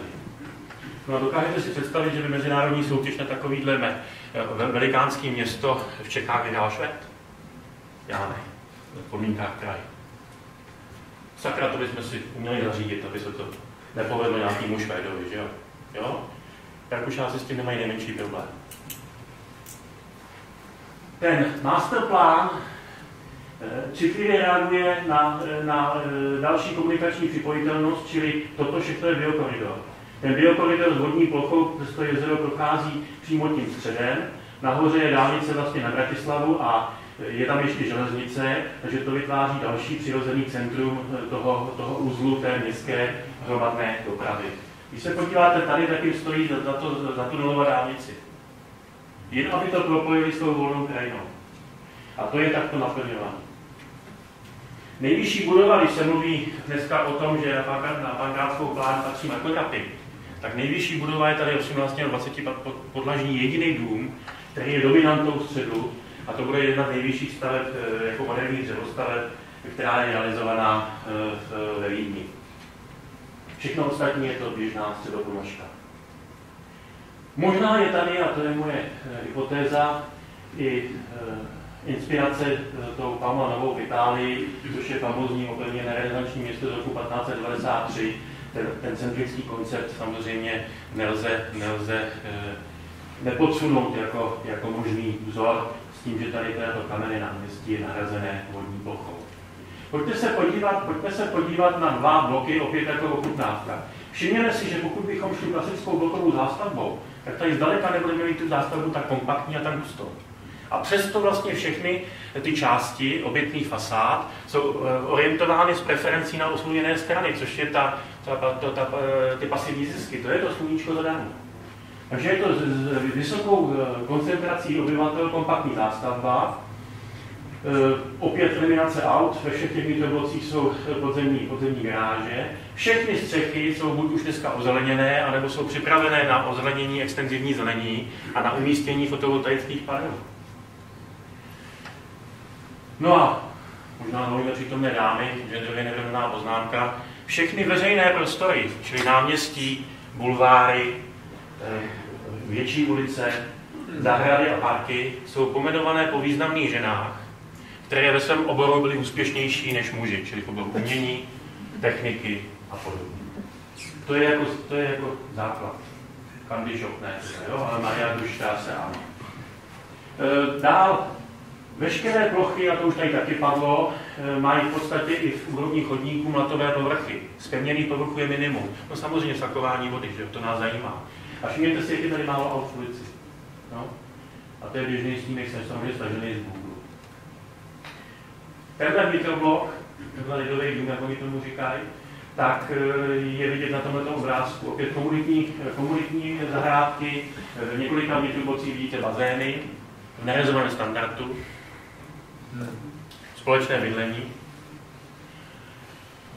opět místnosti pro grilování, klubovny, z mikroškolky a tak dále a tak dále. Tohle jsme v úrovni plus jedna, na úrovni ulicí. Ulice, jo? to jsme na střechách těch garáží. Pak jsem ukazoval tenhle blok, to je moderní dřevostavba, kudy cházíte, do toho bloku vcházíte vlastně přes báječně vybavené dětské dětské hřiště, už to je sám za sebe zážitek. A takhle vypadá ta úroveň péče o ty střešní zahrady a předzahrádky. To je sobotní ráno. To je focený brzo po ránu, je podle těch nízkých stínů. E, vidíte, že je tady vždycky sání a výfuk lokálních větracích jednotek, čili je to, je to, je to adaptovaný na vysokou energetickou efektivitu. No a když se podíváte na, do typické neoplocené předzahrádky, tak tady už jsem měl takový ten nepříjemný pocit, že někomu lezu do obýváku. No, ta plně vybavená zahrada vlastně je běžně součástí veřejného prostoru. No a když vám promítnu jeden takový artefakt umělecký, na něm jsou ty základní principy celého města, tak opět nám to připomene eh, ten jeden z režimů, s kterým se tak těžko, těžko myšlenkově loučíme a jsme tím kontaminované několik generací. Oni říkají, že to je bydlení bezpečné, chráněné, udržitelné.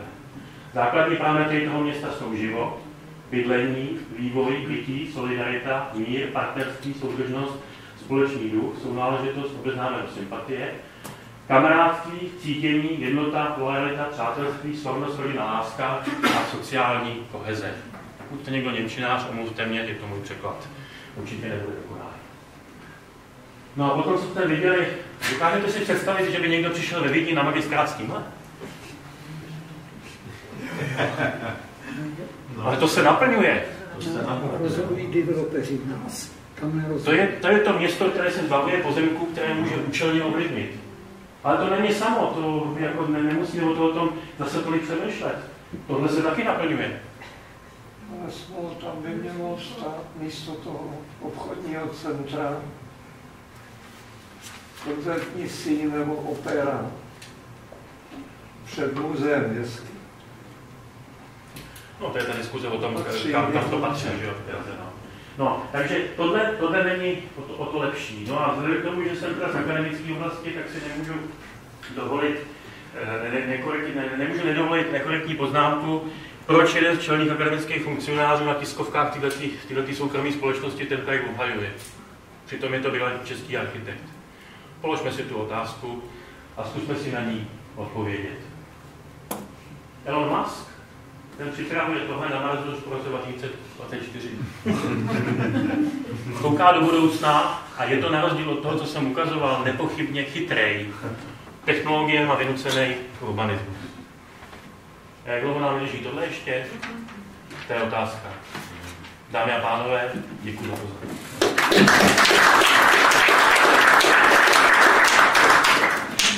další vynikající přednášku. A uh, já nevím, jestli pan architekt Brotánek. Ne. No, takže možná eh, to se nedá dělat, takže prosíme pana inženýra Hrka, který tomu, tomu který to všechno sjednotí po stránce eh, po stránce státní, výkonné, finanční. Jinak já se moc omlouvám, mě tam ještě přišla další akce, já musím. Pokud byste dovolili ještě nějaké poznámky k tomu, tu přednášku vám samozřejmě poskytnu. Děkuji vám. PDF na stránky, nakonec průběžně připravená pro školu.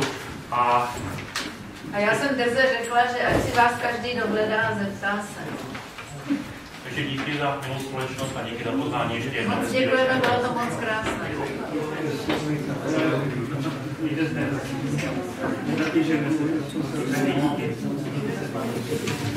Pokud můžete, tak ještě vydržte na tu závěrečnou nejzajímavější část. Krásný podvečer, dámy a pánové. Eh, těm, co jste vydrželi už opravdu se připozdívá. Já budu eh, možná stručný, možná se ani nebudu úplně držet té prezentace. Ona se zaměřila tak trošku jednostranně na program Nová zelená úsporám, eh, který tedy státní fond životního prostředí administruje. Nicméně ta problematika, jak jsme dneska konci slyšeli, je daleko širší. Program Nová zelená úspora eh, se zaměřuje vlastně na individuální stavebníky nebo vlastníky rodinných a tedy částečně bytových domů v České republice. To je to gro, kam teda tenhle program míří.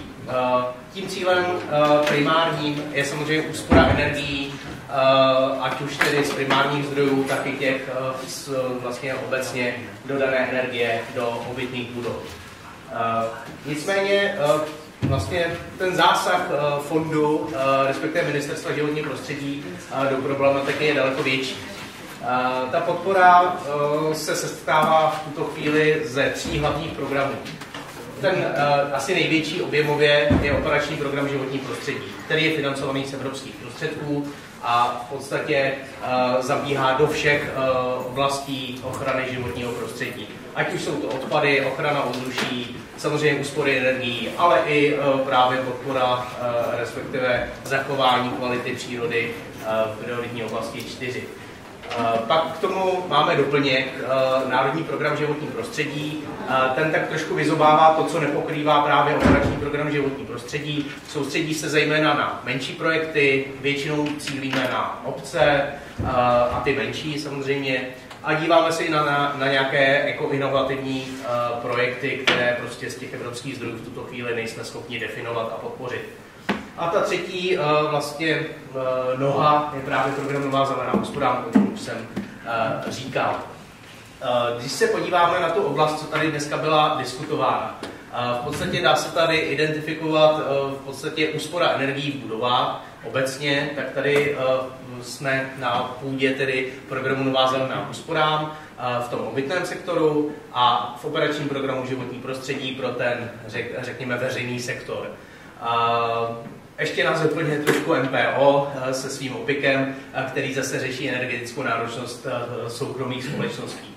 Trošku problém, který tady možná i částečně už zazněl, je jakási roztříštěnost té veřejné zprávy a vůbec jako nekoordinace postupů. A teď nemyslím jen těch dotačních, ale i těch samozřejmě legislativních eh, v tom eh, řekněme, přehršli eh, těch problematik, které jsme tady dnes zaslechli. Protože historicky kompetenční zákon ty kompetence nějak rozděluje, v podstatě do těch oblastí, které tady zazněly, vstupuje eh, MŽP, MPO, eh, samozřejmě eh, ministerstvo zemědělství, tam je zejména voda a tak dále. To znamená, všechno tohle spolu přináší nějaké problémy. My se samozřejmě snažíme nějakým způsobem řešit a zaměřit se na podporu smysluplných projektů, eh, které eh, tedy považujeme za dobrou cestu k tomu, aby jsme eh, tady mohli žít všichni lépe a možná i radostněji. V tomto směru tedy možná zmíním tady podle mě tedy podporované aktivity, které do tohoto sektoru míří. Když začnu operační program v životním prostředí, tak tam tedy v tuto chvíli je možné podpořit projekty na úspory energií v budovách v podstatě veřejných, to znamená školy, školky a takovéto budovy, úřady, obecní úřady, hasičské zbrojnice a tak dále. To je prioritní osa 5. Tam v podstatě žadatelé nejčastěji se rekrutují právě z řad obcí a podobných subjektů. Potom tam teoreticky v tuto chvíli nabízíme podporu opatření v té oblasti vodního hospodářství. Buď jsou to ty opravdu velké projekty typu výstavba kanalizací, čistíren odpadních vod, zásobování velkých vlastně cílů, velkých území pitnou vodou a tak dále. To je prioritní osa 1. Ochrana ovzduší, tady uh, zmíním kromě teda těch uh, velkých uh, projektů asi eh, jste slyšel ten trošku nepřesný pojem kotlíkové dotace, nicméně to je právě financováno z operačního programu životní prostředí. Je to jedna z největších aktivit eh, a je určitě teda eh, v tuto chvíli to výjimka z operačních programů pro fyzické osoby. Takže to je PO2. V PO4 tam nějakým způsobem se řeší ochrana biodiverzity, ochrana druhová a tak dále. To znamená, sem spadají takové ty opravdu při, ochrana přírody, volně žijících uh, druhů a tak dále. Takže to je taková, takový segment, který se dívá na to kvalitní životní prostředí spíše mimo města, když to tak nazvou, mimo to zastavěné území. A to je v podstatě to gro, které by se mohlo patřit z operačního programu životní prostředí. V rámci Národního programu životní prostředí, tam my, jak jsem říkal, vyzobáváme to, co nejde podpořit z operačního programu. Takže v tuto chvíli uh, umožňujeme podporu třeba na uh, budování soustav uh, vlastně domovních čistíren odpadních vod pro menší obce, tam, kde prostě není efektivní nebo možné vytvořit tu uh, velkou uh, stokovou síť zakončenou klasickou čistírnou odpadních vod.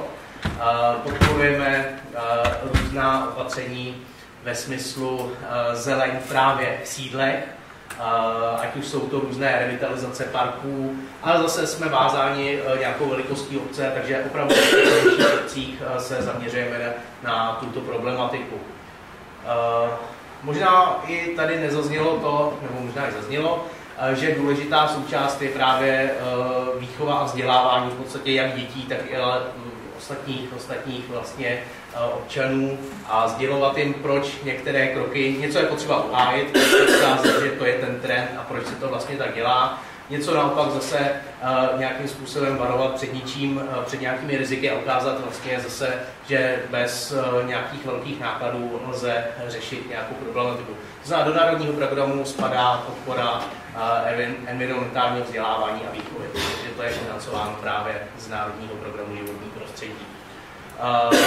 Podporujeme dále budování zdrojů pitné vody, tam, kde je dostatek, znamená, tam se posilují různé, eh, různé současné zdroje, se prohlubují, případně eh, se vrtají nové. Eh, to je zase určeno pro obce a pro menší obce. Řeší se ekomobilita, to znamená podpora, možná jste teď zaznamenali, vyhlašovali jsme výzvu opět pro obce na podporu nákupu ekologických vozidel, jsou to teda elektromobily, hybridy a teda auta na CNG, na stlačený zemní plyn. Takže zase pro obce. Bike sharing, zazněl tady Vídeň, uh, rozvinutý systém.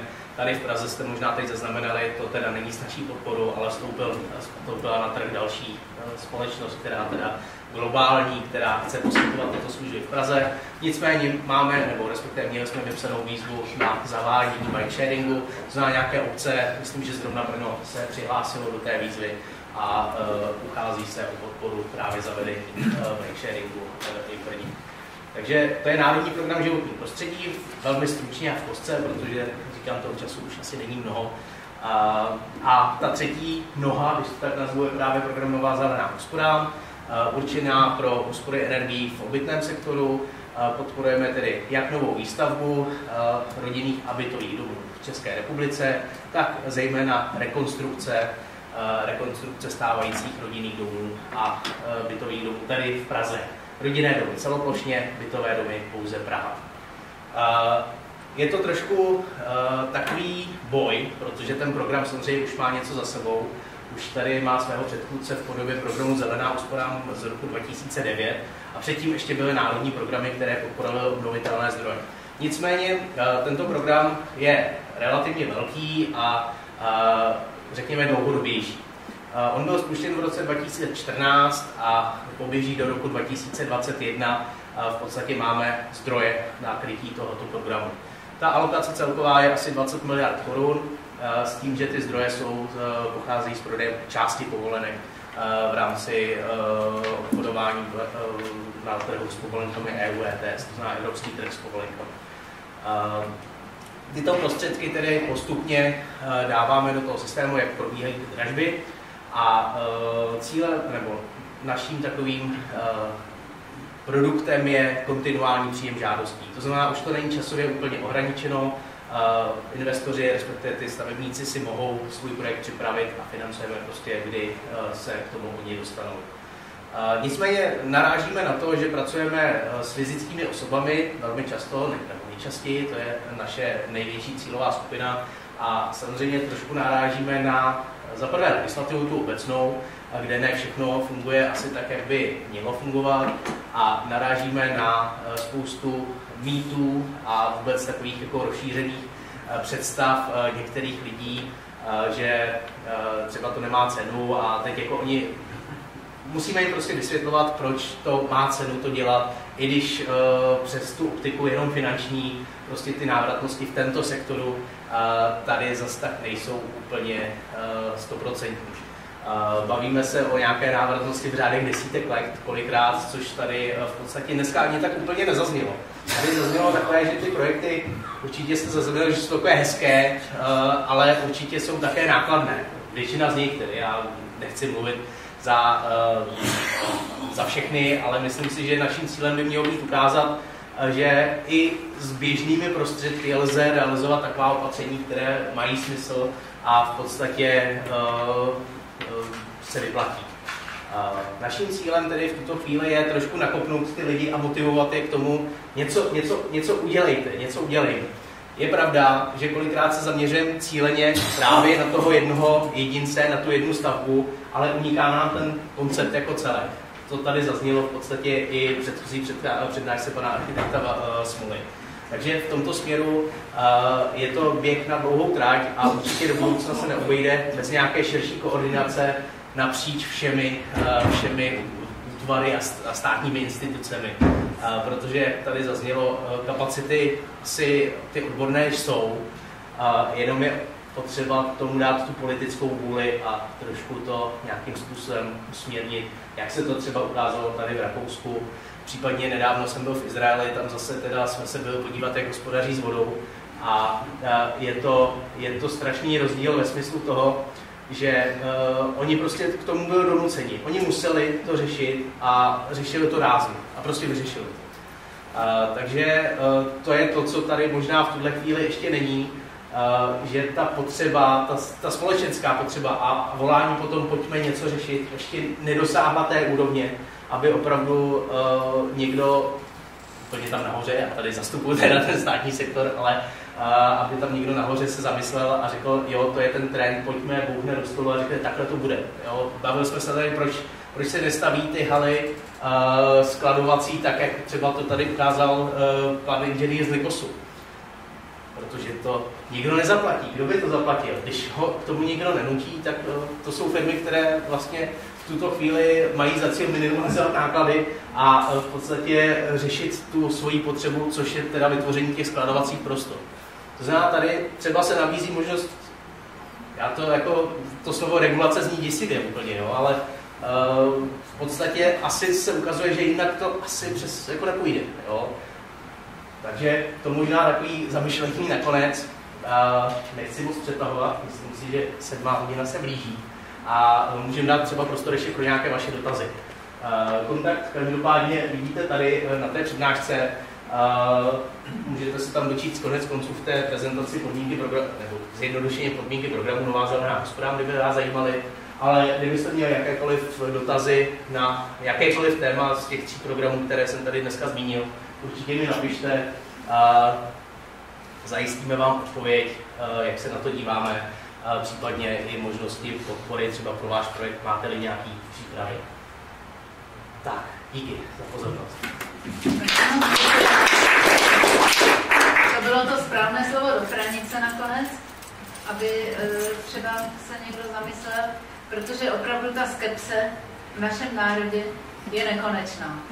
Že e, všichni už předem vidí všechno jako prohrané a ani se do toho nepustí trochu z pohodlnosti a trochu s představou, že stejně to je k ničemu.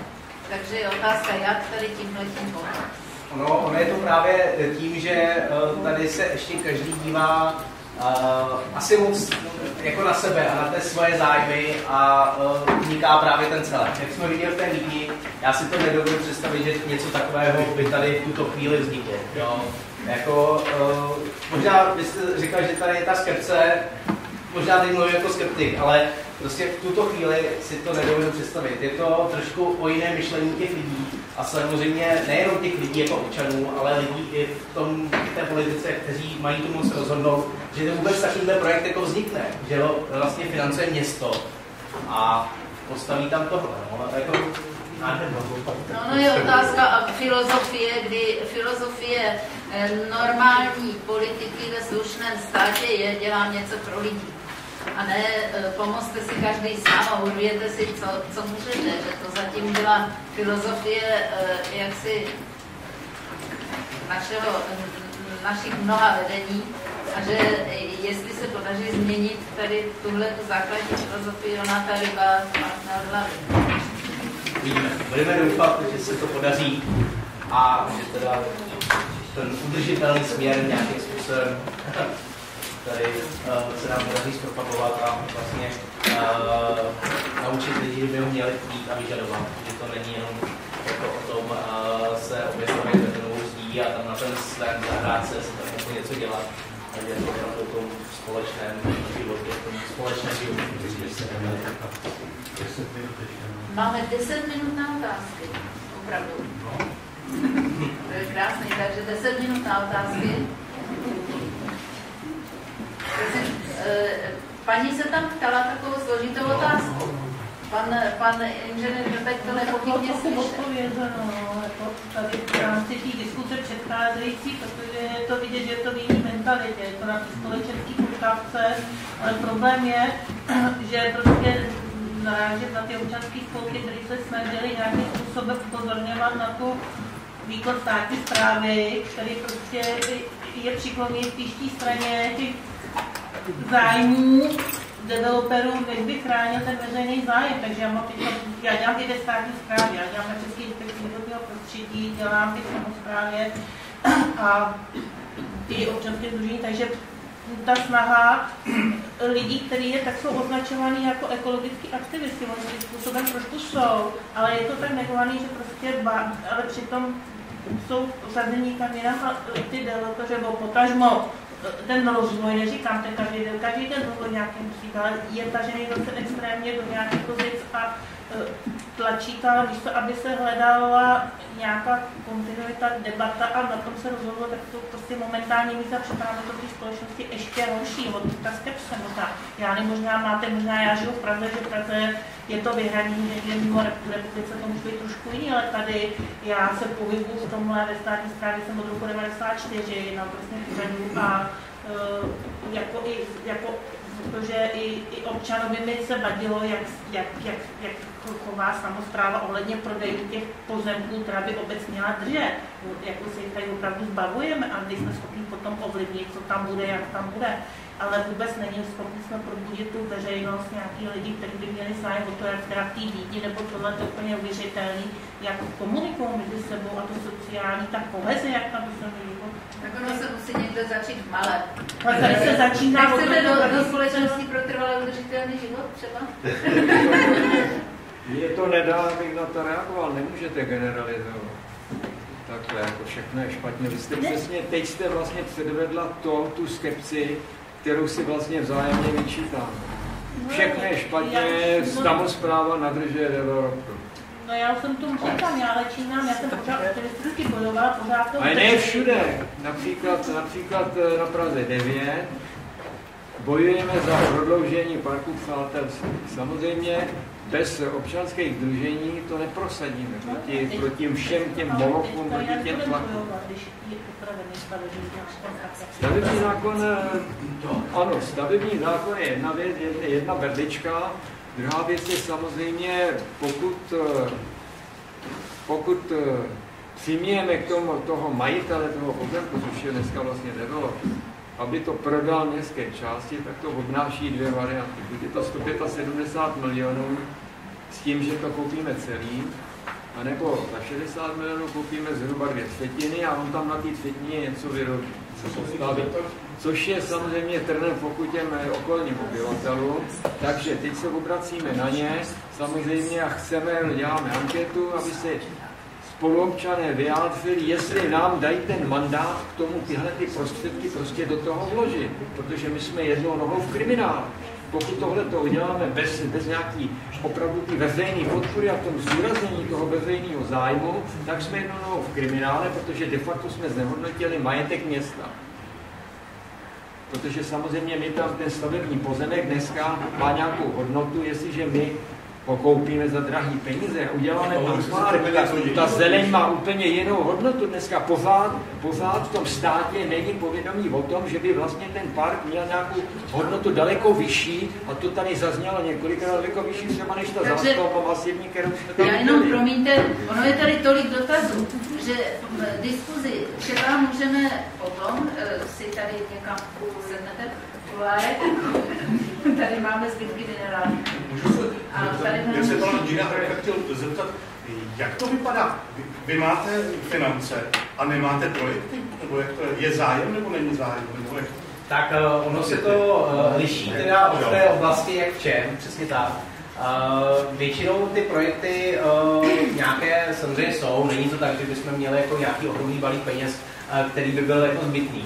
Jo, uh, samozřejmě ta strategie, uh, kolik peněz do čeho bude, u operačního programu to bylo vlastně nalinkováno dopředu, v podstatě při vyjednávání podmínek, co do které prioritní oblasti půjde, co se týče, co se týče těch národních zdrojů, tam přece jenom ta ruka ministerstva životního prostředí, když to tak řeknu, je volnější.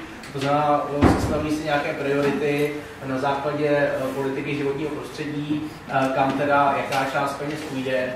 A samozřejmě jako můžu uvést příklady výzev, které jsou přečerpány, kde se nedostane na všechny. A zase jsem schopen uvíct jako stejně tak příklad výzev, které jsou nedočerpány.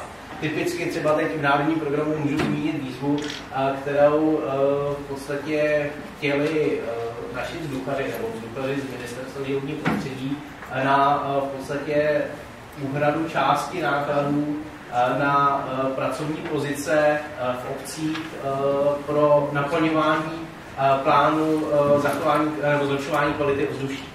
Jo, to znamená, to jsou, to jsou pracovní místa, které by tam teoreticky měly existovat, my jsme nabídli možnost financovat polovinu a nepřišla snad jediná žádost. A ono možná není divu, protože když se podíváte do těch jako strategických dokumentů těch jednotlivých obcí, tak bohužel kolikrát jsou to dokumenty proto, aby byly, ne, ne proto, aby něco řešili v reálu. No. Tam jsou opravdu kolikrát napsaná opatření, která nejsou realizovatelná v nějakém horizontu jako desítek let skoro. No. Takže ono je to složité. No, snažíme se za nás, za fond, vypisovat výzvy tak, aby uh, za prvé měli ekologický přínos pro životní prostředí a aby o ně byl zájem. To je naš, naš, náš cíl. Samozřejmě netvrdím, není to ve 100%, že by se to povedlo. To tak je.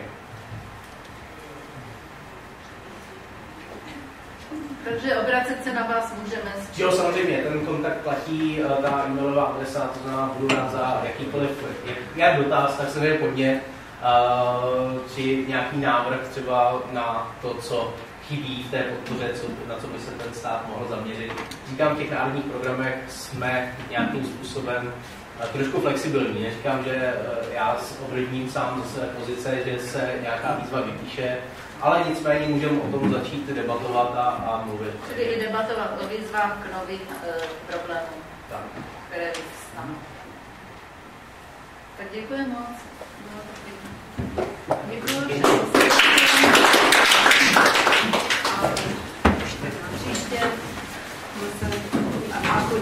problematika nerostných surovin. A ještě e, náš Dovolte, abych teda poděkoval jednak všem našim panelistům, vám všem, kteří jste přišli a vydrželi až do konce. A zároveň bych trošku nalil optimismu do budoucna, protože já jsem zažil diskuze na vídeňské televizi a to je prostě společnost, která je někde dál. Oni tam tyhle věci diskutovali kdysi a taky to neměli tehda jednoduchý. Ať už to byla ta atomka, ať už to byly třeba, já nevím, ty boje o e, přehradu na Dunaji, kdy tam prostě zasahovala proti těm protestujícím zásahová jednotka, jo, ale tam potom měli ty mechanismy demokratický takový, že prostě mají ty, ty, to, to určitý lidový referendum a, a podobně, jo? Že, že prostě to vedlo potom k těm velkým změnám, ale prostě tam to šlo ze zdola a měli na to čas, že jo? A my jsme zatím toho času, byť to vypadá, že už taky nějaký ty desetiletí jsou, ale pořád je to ještě málo, jak je vidět, jo? Takže to, co je prostě tam, tak je jasný, že se taky přijde, bohužel trochu později. Ale každopádně zatím díky a příště teda toho 5.12. máme ohledně surovinové politiky. A i naši mládež vyzývám, že potřebujeme mladé máme přihlášky do služeb. Vidíte, že se snažíme dělat, co můžeme, takže si to rovněž na stránkách